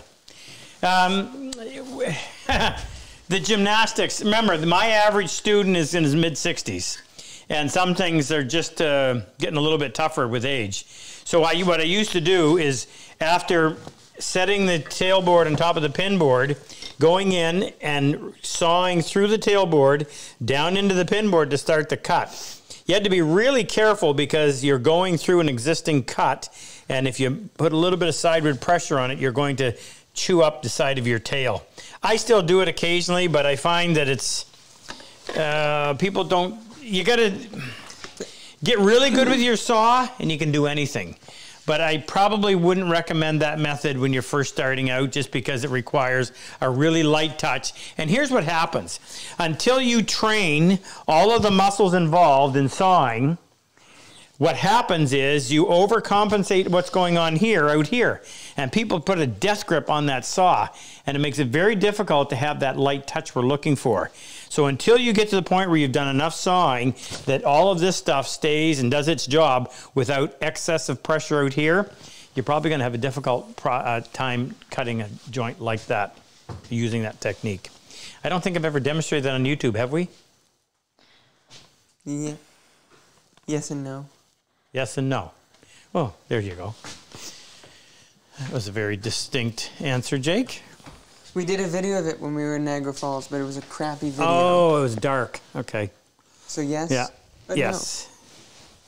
Next, Frick. All right, next one comes all the way from Malaysia, from Wow. Ming Yu. And Ming Yu, that's his name. Ming Yep. and Yu. Yep, could be female. Me I'm and not you? sure. Yep. I have a problem chiseling softwood when the wood crushes underneath. Uh, when the wood crushes underneath your chisel, how do you deal with that? Ah. Just happen to have the solution. So what you do is you get Jake to grind you a 17 degree chisel. No. Now- you put your half inch away. There's a uh, there's a 25 degree, which is standard, and there's a 17 degree. So you see how much longer the bevel is. So if you look at the side profile, you'll see. Now, Meng, is it Meng? I, uh, I, I used to just drive me crazy.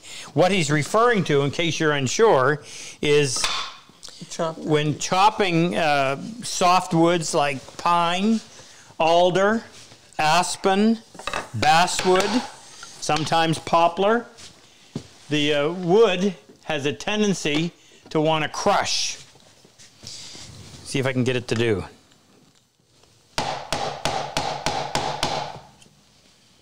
Course not. It's a good piece of pine. Cop it would be nice if I could get a cooperative piece of wood.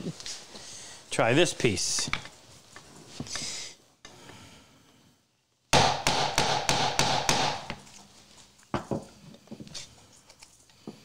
Well, there's a little bit of what happens. The fibers start to crush in there. If you have a 17 degree chisel where the bevel is extremely acute, There's your difference. See that? And what it does, I think, is as your bevel becomes more obtuse, it puts a lot of pressure on the fiber directly ahead of the cutting edge, and that pressure bearing down causes the fibers below it to collapse, and then you get that mess. Whereas if it becomes very acute, that super sharp edge will get down in there and just slice through those fibers. It makes such a huge difference. It's the only thing I've ever found to work, and that's a really good example of how it works. So what we do is we offer we offer a quarter and a half inch chisel at 17 degrees. Now, you cannot use those chisels in hardwood. You have no recourse with the manufacturer to say, oh, the chisel failed. No, there's just not enough metal behind the cutting edge. These are only for softwoods and only used in softwoods. You have You to have separate tear chisels. Well, you can, but I mean, you're just you're you're you're risking it because, like I said, there's just no wood out there. So we make those. They're on our site. You can you can buy them. You, you can get by with just a quarter and a half. That'll do. Good question. And uh, somebody could almost accuse you of being a plant. Frick, next. All right. Next one comes from Talbot Scalar in Westfield, New Jersey. Talbot's And, He goes by Tal. Tal. Tal in New Jersey. Merry Christmas. and he says, "Can you explain the reason why you adjust the spacing of the pins, the width of the saw blade on each side?" Oh yeah, absolutely. Um, we've we've done this uh, 150 times, but I'll do it 151 because um, a lot of people don't get it. So, uh, Megan, while I'm getting set up here, is there any more? Are there any more vets that we need to say hello to?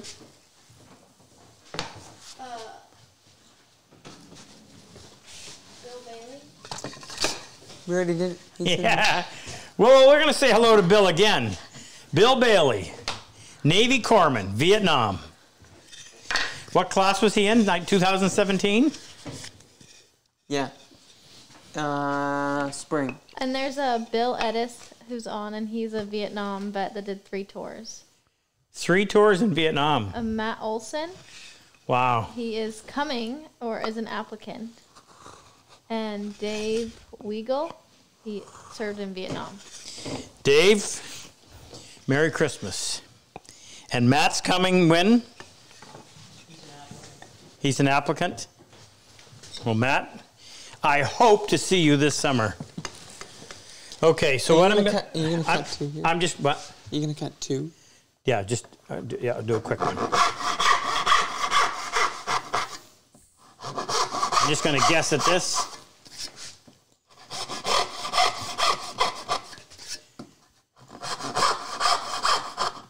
Okay.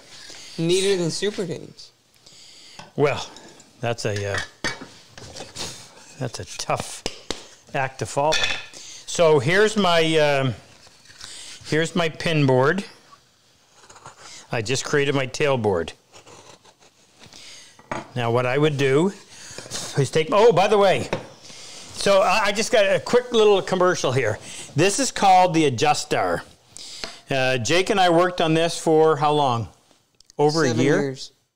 Seven years? Seems Over like a it. year, seven years. And thanks to Paul, Paul's our genius in Ontario that just is, has, he really, I, I, I don't joke when I say genius. He is, uh, it's uncanny how he can come up with, create things. Just awesome. We've worked together for a long time.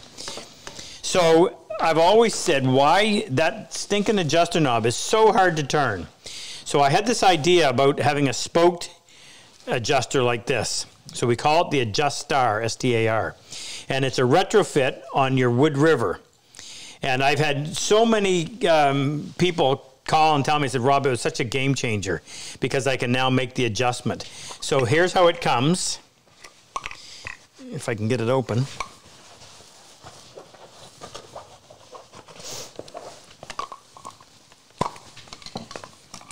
See that? That fits on. Now, in order to put it on your five and a half, you got to take the rear tote off. And remember, it's a reverse thread, so you spin it on like that. Take the old one on, put that one on, and uh, we just this is our third shipment. First two sold out. Am I right? It's a third, isn't it? Yeah. So they're now back in stock. So if you've been waiting for one, the ones for the Lie-Nielsen planes, we're still having to tweak. They'll be ready, I hope, soon. All right, little side note there. So set my plane on its side, keep it flush with the top of the plane, and lock that in place. Set this back. Now I normally cut my little rabbet underneath there, but we're going to line that up. So normally what we used to do is we would have removed the waste. Now I'm going to identify so that you know what the waste is. So that's waste, that's waste, and that's waste. What we used to do is take that out, take a sharp knife and go in there and trace around the tails. Then you would be looking at here and you'd have this really fine line that you're trying to saw to. Well, let me tell you something. As your eyes get older, seeing that line is almost impossible. So I came up with this idea back in 2015. And it was a uh, it was something that I had been inspired by a man named Ernest Joyce who wrote a book in 1971 called The Encyclopedia of Furniture Making.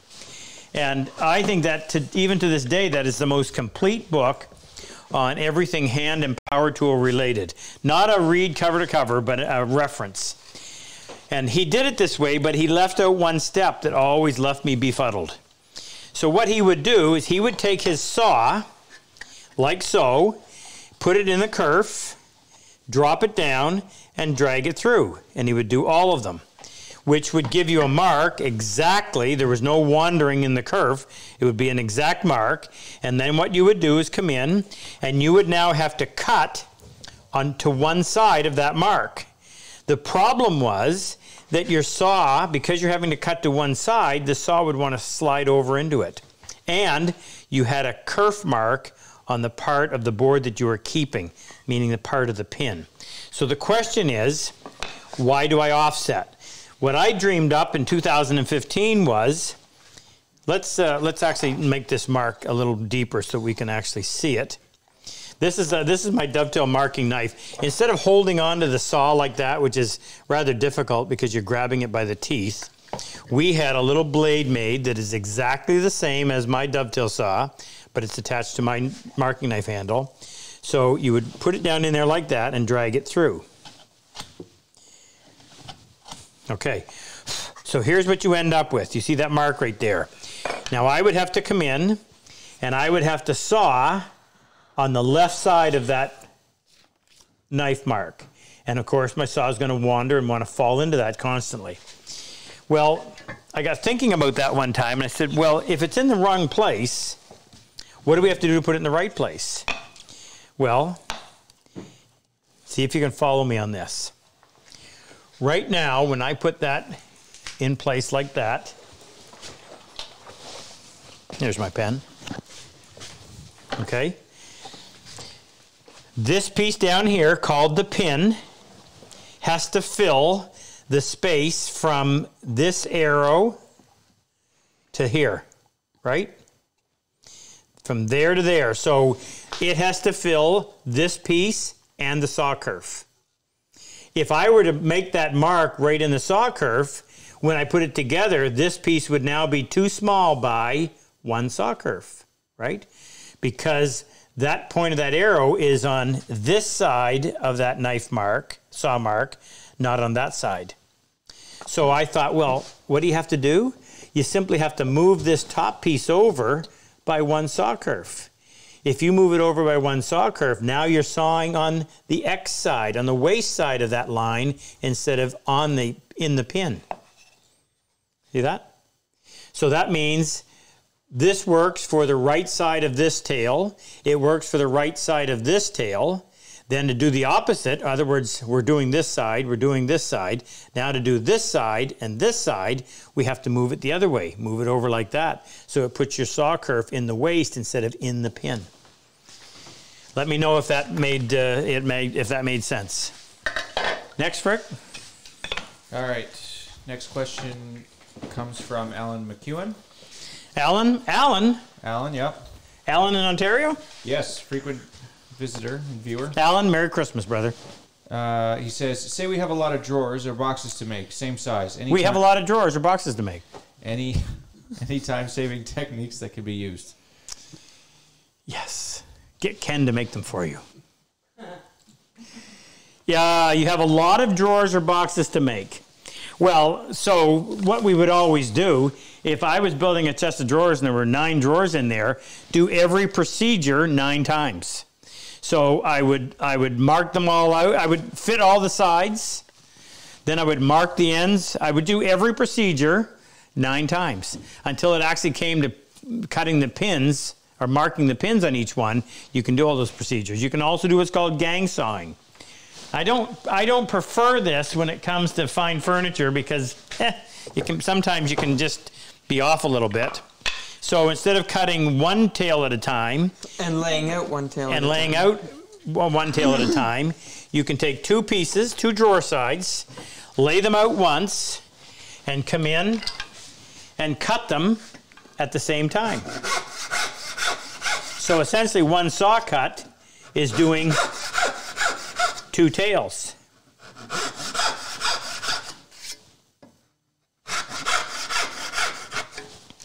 Now, the, I just find that it's too easy to accidentally go below your line when you do that. But on uh, on stuff that maybe isn't furniture grade, uh, by, uh, by all means, and you cut your time in half doing it that way. That that and just doing the same. It only makes sense that if I've got nine drawers to make, I set my marking gauge once and I use it nine times.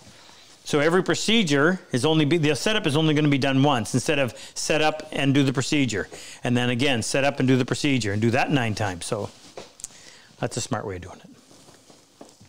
Merry Christmas, Alan. Ooh, chisels. Alan, uh, Alan's retired uh, university professor. Alan taught um, farming techniques, and he's the one that told me that GMO is not always bad. And here's the example he gave me. Good to He said, that? huh? A what? Nothing. They took they took uh, one particular plant was resistant to a particular bug, and they were able to they were able to somehow GMO another plant, so they no longer had to use pesticide for that bug on that particular plant. That's smart. Yeah. Chisels. Next, what's wrong with the chisels? Those two. Oh yes. Okay, remind me as soon as we do this next question. All right. Next question is from Simon Rios in Boston. Hey Simon, He says, "Is it easier to go use- Bruins! You're not a fan. of I Bruins. grew up a Bobby Orr fan. Uh, is it easier to use a coping saw or a chisel when removing material from dovetails? Do you need both? Oh yeah, yeah, definitely coping saw. You get into something like maple or white oak, and you're sitting there banging and thrashing, trying to remove that. Oh my goodness, Ken, what do you think? Definitely saw. Fret saw, not a coping saw. He said coping saw. No, coping saw. pff, no, fret saw. Fret saw holds the blade much tighter so it doesn't bow on you. And a fret saw, the blade is thin enough that it'll slip down the kerf left by the dovetail saw and allow you to turn within the kerf and go. Can't do that with the can't do that with the uh, coping saw. Now, what you do is you get as close to the line as possible, and then it's just a couple of quick chops with the chisel and you're done. But I would hate having to go in and remove all my waste with the chisel. Too much work. Now, I wanted to, I want to say something. So we just shot a, a YouTube that'll show up sometime next week, and we did it on two chisels. We did a test on the uh, on the Wood River 3 8 uh, socket chisel, and we did it on the new Narex uh, 3 8 um, Tang chisel. Richter. And so Richter. these Richter, Eric's Richter. Narex Richter. So these two chisels, where are they, Jake? Right here. These two chisels have been done, polished right through to 16,000 grit. So if you'd like to own one of these, and if you know anything about how much work that takes, you'll appreciate it. So we're going to put them up for auction. They're the same size. At the end of the night, the highest bidder gets it. So that's there's the Narex 3 8 and there's the Wood River 3 8 Both are polished, sharp, ready to go. All you got to do is buy it. So just do it in the chat. And um, Ken, can you watch for that? Okay, Ken will watch for it. So say, Ken, I bid four thousand dollars, and then Ken, I bid four thousand five hundred dollars. That's where we'll start it. Yeah. and we'll sign it. Jake and I will both sign the handle and send it to you. Take the value down or not? Go ahead, Frick. Next. All right. Next question comes from Granola John in the chat. Granola John. That's all I got. It's his handle. Why are hand cut dovetails better than those done on a table saw, bandsaw, or router? Well, John, it's all about ownership, and this is what I mean. When I when I uh, pull out that drawer, that clever little drawer, and somebody looks at somebody, a fellow craftsman, looks at that, and he says, "Wow, nice dovetails. How'd you do that?" Well, I did that with my jig, or I did that with the table saw, or I did that with the bandsaw. None of that has the same effect as if you said, "Well, I did that with my Rob Cosman dovetail saw." Um, Mrs. Ownership. Claus is on, and she says that she would like to say something. Mrs. Claus would like to say something. This She'd is like to Santa share Claus's something wife. brief. How how's she going to do it? I don't know. So she's going to. Yeah, we'll wait till she answers that one. Mrs. Claus, the floor is yours. As soon as they get it, I will stop and they'll read it. I'll keep answering questions until it comes through. There's a little bit of a delay from what you hear me to where that comes out. So my answer to my my sum up to the question you asked is, uh, what I'm all about is teaching skill. That doesn't matter if anybody else cares. At the end of the day, to be able to look at something that you did, David Pye, English craftsman, coined the phrase workmanship of risk. What it means is the process and the end result are 100% dependent upon your skill. You stick a board in a thickness planer, it comes out the other end thinner, whether you're in the room or not. Try that with a scrub plane, a joiner, and a smoother, where you're taking it from rough and making it that way by hand. Completely different. It only matters to you, it doesn't matter to anybody else. So if, if you're doing this because you enjoy the journey, which is the reason I do it, then you'll understand what I mean. If you just want the end result, buy a jig. But it's all about ownership. Workmanship of risk. I love that expression, and I apply it to everything I do. Frick, All right, ready? This one. Ma- come- Megan, you interrupt me, okay? Whenever it. This one comes from Aaron Fenn. Hi, Aaron. uh, frequent visitor and, and watcher of the live episodes. He says, I use Rob's fret saw. When I set it up, the blade bows. Can you show a quick how to Yep. install the blade? Yeah, absolutely. Good question. We sometimes let this uh, this goes. Uh, I'll actually I'll set up the one that we're giving away tonight. So here it is. Ken, can you go grab him the needle nose? Little pair of needle nose. I think they're right there on your tool tray. I thought. Okay, so this is important because if you get this wrong, it's really awkward to try to use. so when you buy our fret saw, thanks Ken. What we have done is we've gone in and we've drilled and pinned the handle so it doesn't come off, and then we tape the handle just like Moose tapes the top of his hockey stick. So your power hand on your stick is your is your dominant hand. It holds the back. That's where all you need all your controls. You need good grip. Same thing here. When I first started using this little fret saw, that handle was so small and smooth you couldn't get any control. So we just tape it like that, the stick tape, and we sell the stick tape so you can do it on your handles because it also works fantastic on F clamps like that. So what you're going to do is um, open this up. So you've got you've got one, two, three, four thumb screws on here. You're going to open this up. Inside these jaws, the surfaces are serrated. There's little marks in there. I've got this one tight. I'm going to take one of my blades. The blades come in a little tube, and there's a, there's a pack of 12. And he, they'll- only come out one way without having to unwind the wire. See if I can guess, get the right one. Would help if I could see. Oh, I did. Okay.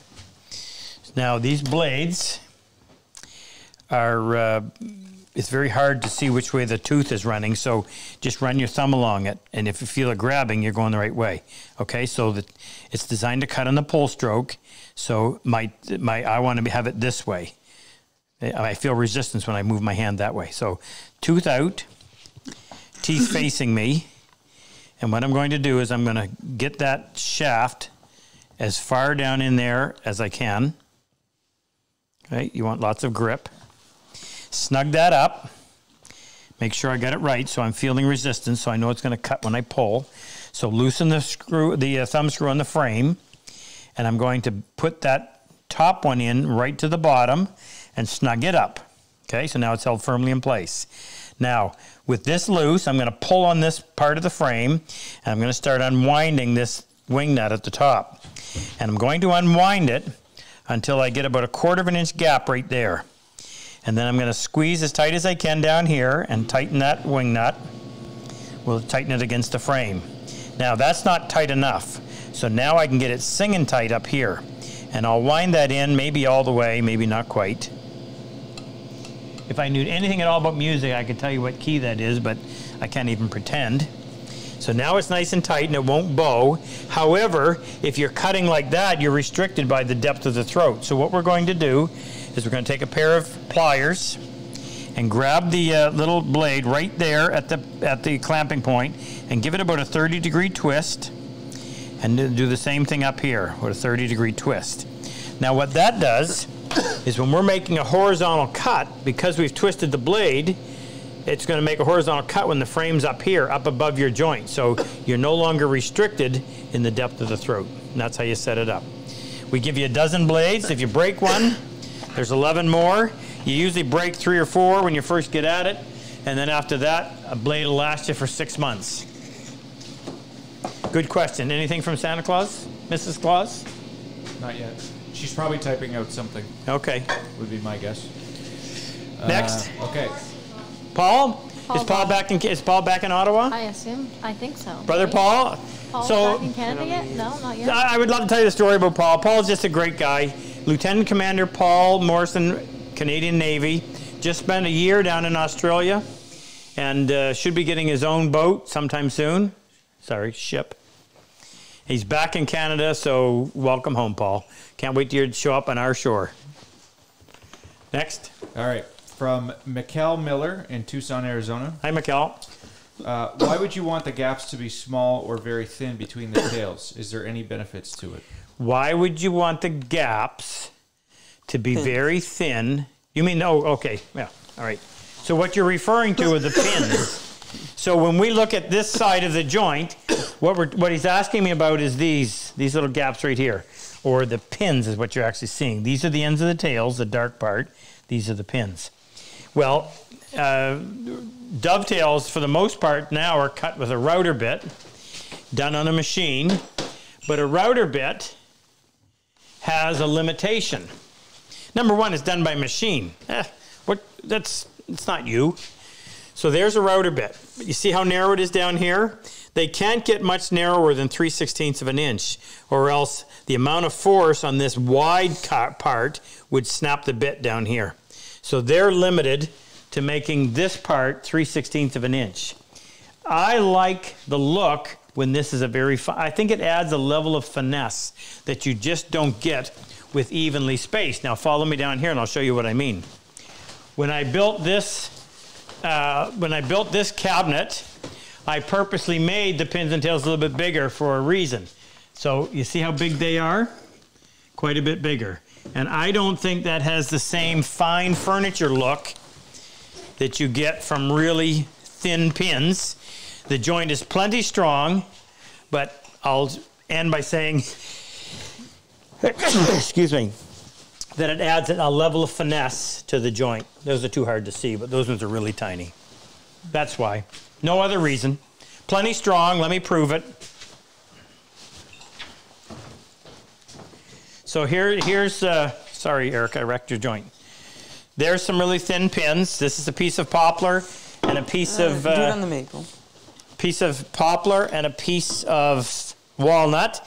And after dinner tonight, I'm probably dressed like this, about 190 pounds, and I can easily stand on that without it breaking, which means that's not going to come apart or break anytime soon. And that's how come we have antique furniture because somebody built it right. So don't worry about the little pins; they're always going to be stronger than the application requires.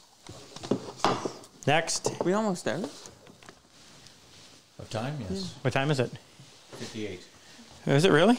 One more question then.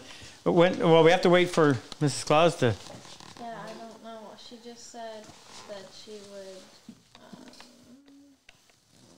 where's the comment? Any more vets saying hello?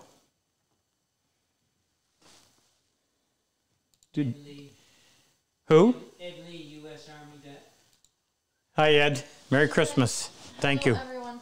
Santa's not here, but if possible, I would like to share something brief, if, if it is okay. That's all she said. That's all she said.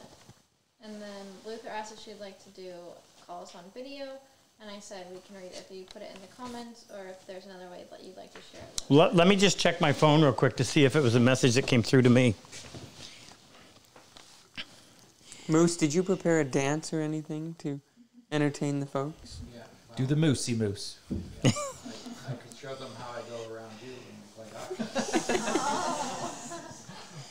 Let me uh, let me uh, direct you. So I don't see it on here.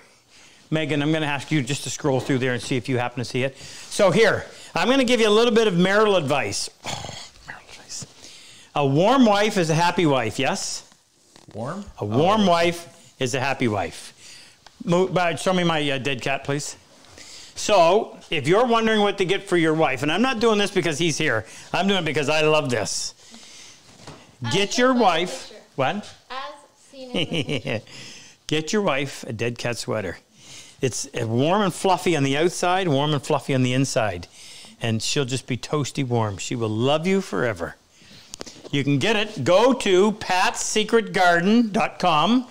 That's Moose and his wife, Pat, who, by the way, was in a car accident today. So if you're watching, Pat, we hope you're doing well. Our thoughts and prayers are with you. And go there, check that out, get yourself, it's actually called a, what's it actually called? Quarter, quarter zip cozy fleece. Quarters, Nowhere near as listen, dead cat is so much better. Quarter zip cozy fleece. If you go in the garment section, it's right in the top left hand corner. But um, trust me, they'll love it. All right. Do we hear anything? Last question. No, I should uh, wrap it up. Show the prizes one more Uh, time. all right, so here's what we're giving away tonight: a dead cat sweater.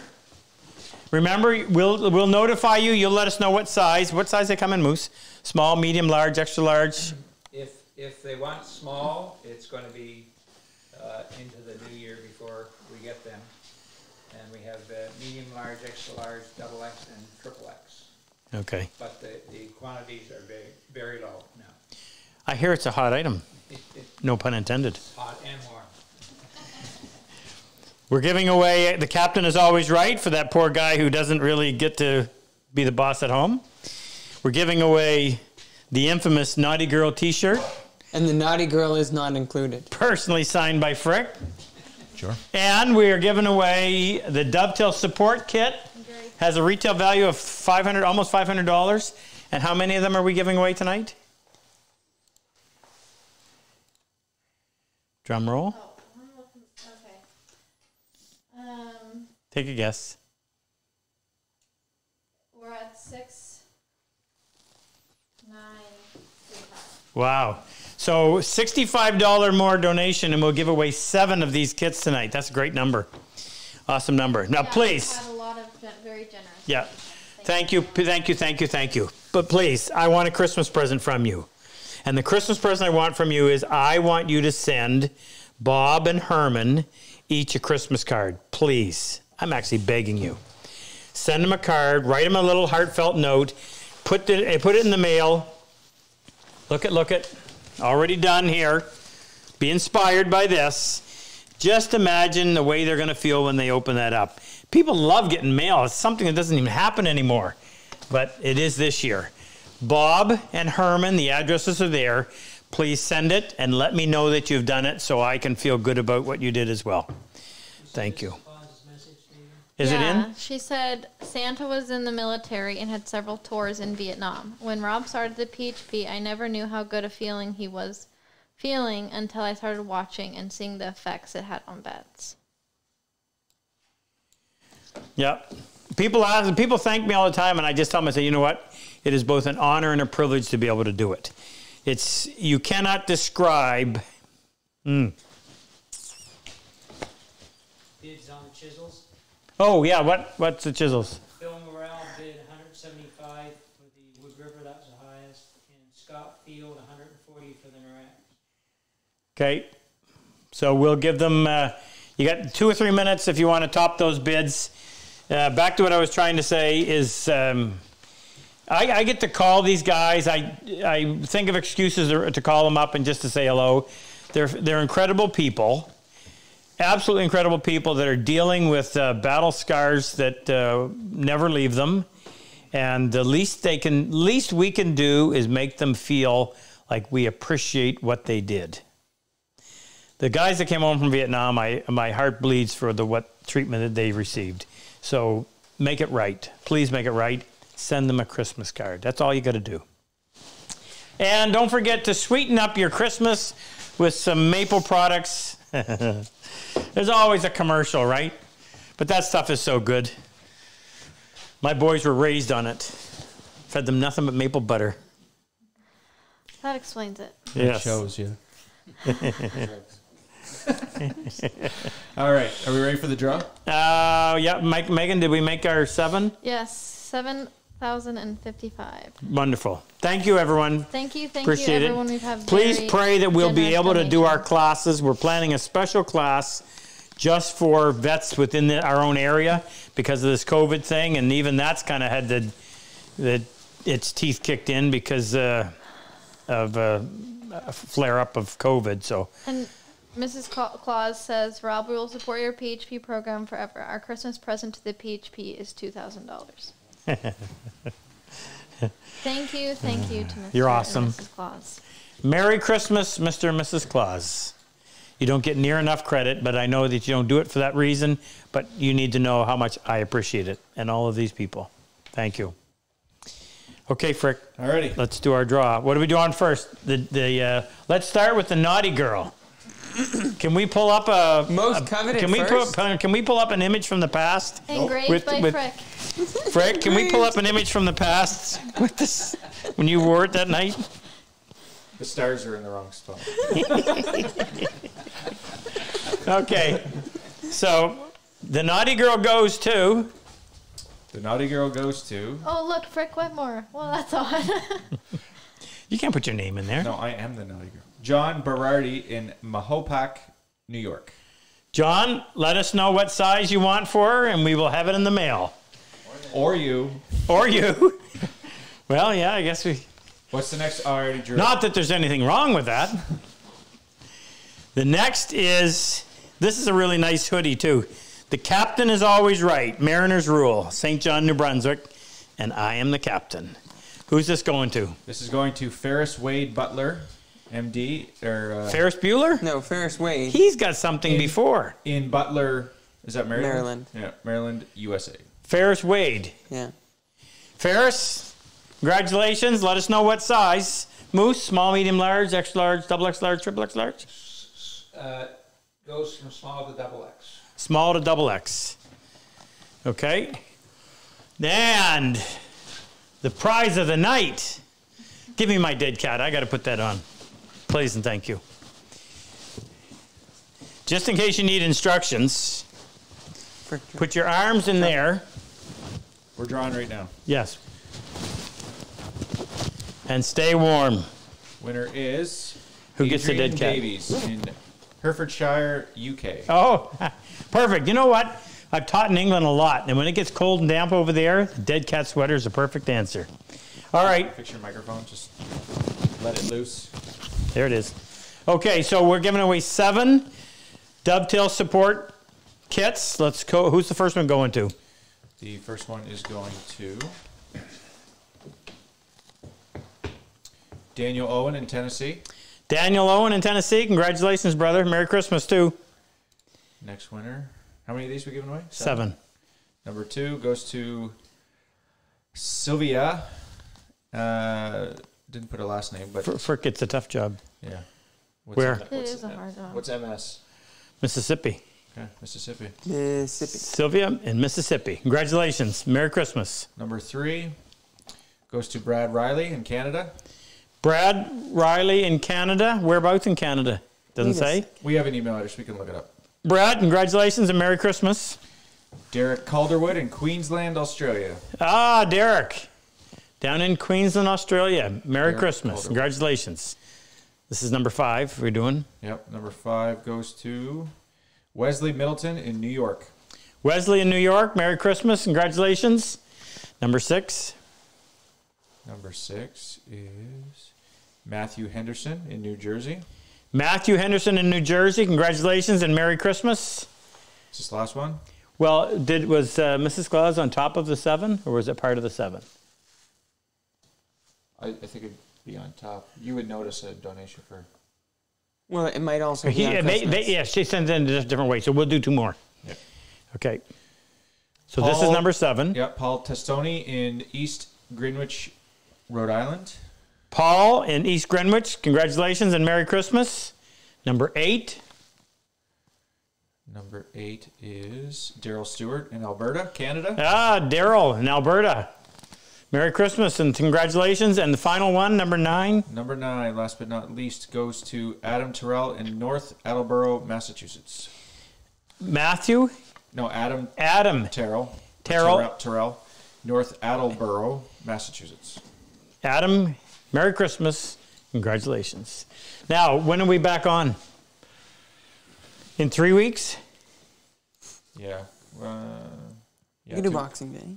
The, what? Two weeks from today is Boxing Day, Are we going to do it? Canadian, Canadian holiday. Why don't we do it? We can do it. I'm Let's busy. do it. No, we're doing it. So Boxing Day, the day after Christmas, we'll be back with our next one. Look forward to it. Merry Christmas, everyone. If I could sing, I would sing Merry Christmas to you, but I can't sing. And thank you for Eric. th- Thank you to Eric, Erica, and Nick, Nick. Oh, good old Gary. Nick's a fantastic woodworker, by the way. You should see some of his work. Nick, website, No website. What- Facebook page, It's Instagram. Instagram page. Okay, come on. What is it? NB Wood Finery. NB Wood Finery. Spell that F I N ERY. E R Y. check out Nick's work. You'll be impressed. Moose, thank you for being here. Thank you for supporting us. And thank Adam Terrell for buying some, for buying something for me too, because he, he's, he's already shopped. Oh, early bird gets a worm. Don't forget Pat's Oh, Secret this Garden. was- This was. A uh, while back? A while back, yeah. Yeah, he Moose knows all those names. Mine like a steel trap. PatSecretGarden.com if you want something really unique and something from New Brunswick. Megan, thank you for being here and doing all this figuring and stuff. Uh, Everybody here did a Christmas card, right? Ken back there, staying COVID safe. Thank you, Ken, for being here, for all the help. Ken manages our shop. Ken's in charge of production of all the stuff that you get. Thank you to Rex back there. What did you do tonight, Rex? Took care of the kids. Took care of the kids.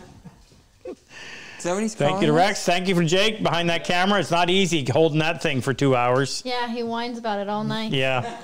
Megan has to rub his back. And since nothing happened tonight, big high five to Frick for pulling it off. Anybody got hand sanitizer? Please have a Merry Christmas and a Happy New Year. Remember the reason for the season. Enjoy your family as best you can. Please, please give me a Christmas present and send a Christmas card to both Bob and to Herman. You will make my year more than anything else. And let us know that you've done it so that we can feel really good about it and we don't have to sit around wondering. See you in two weeks. Good night.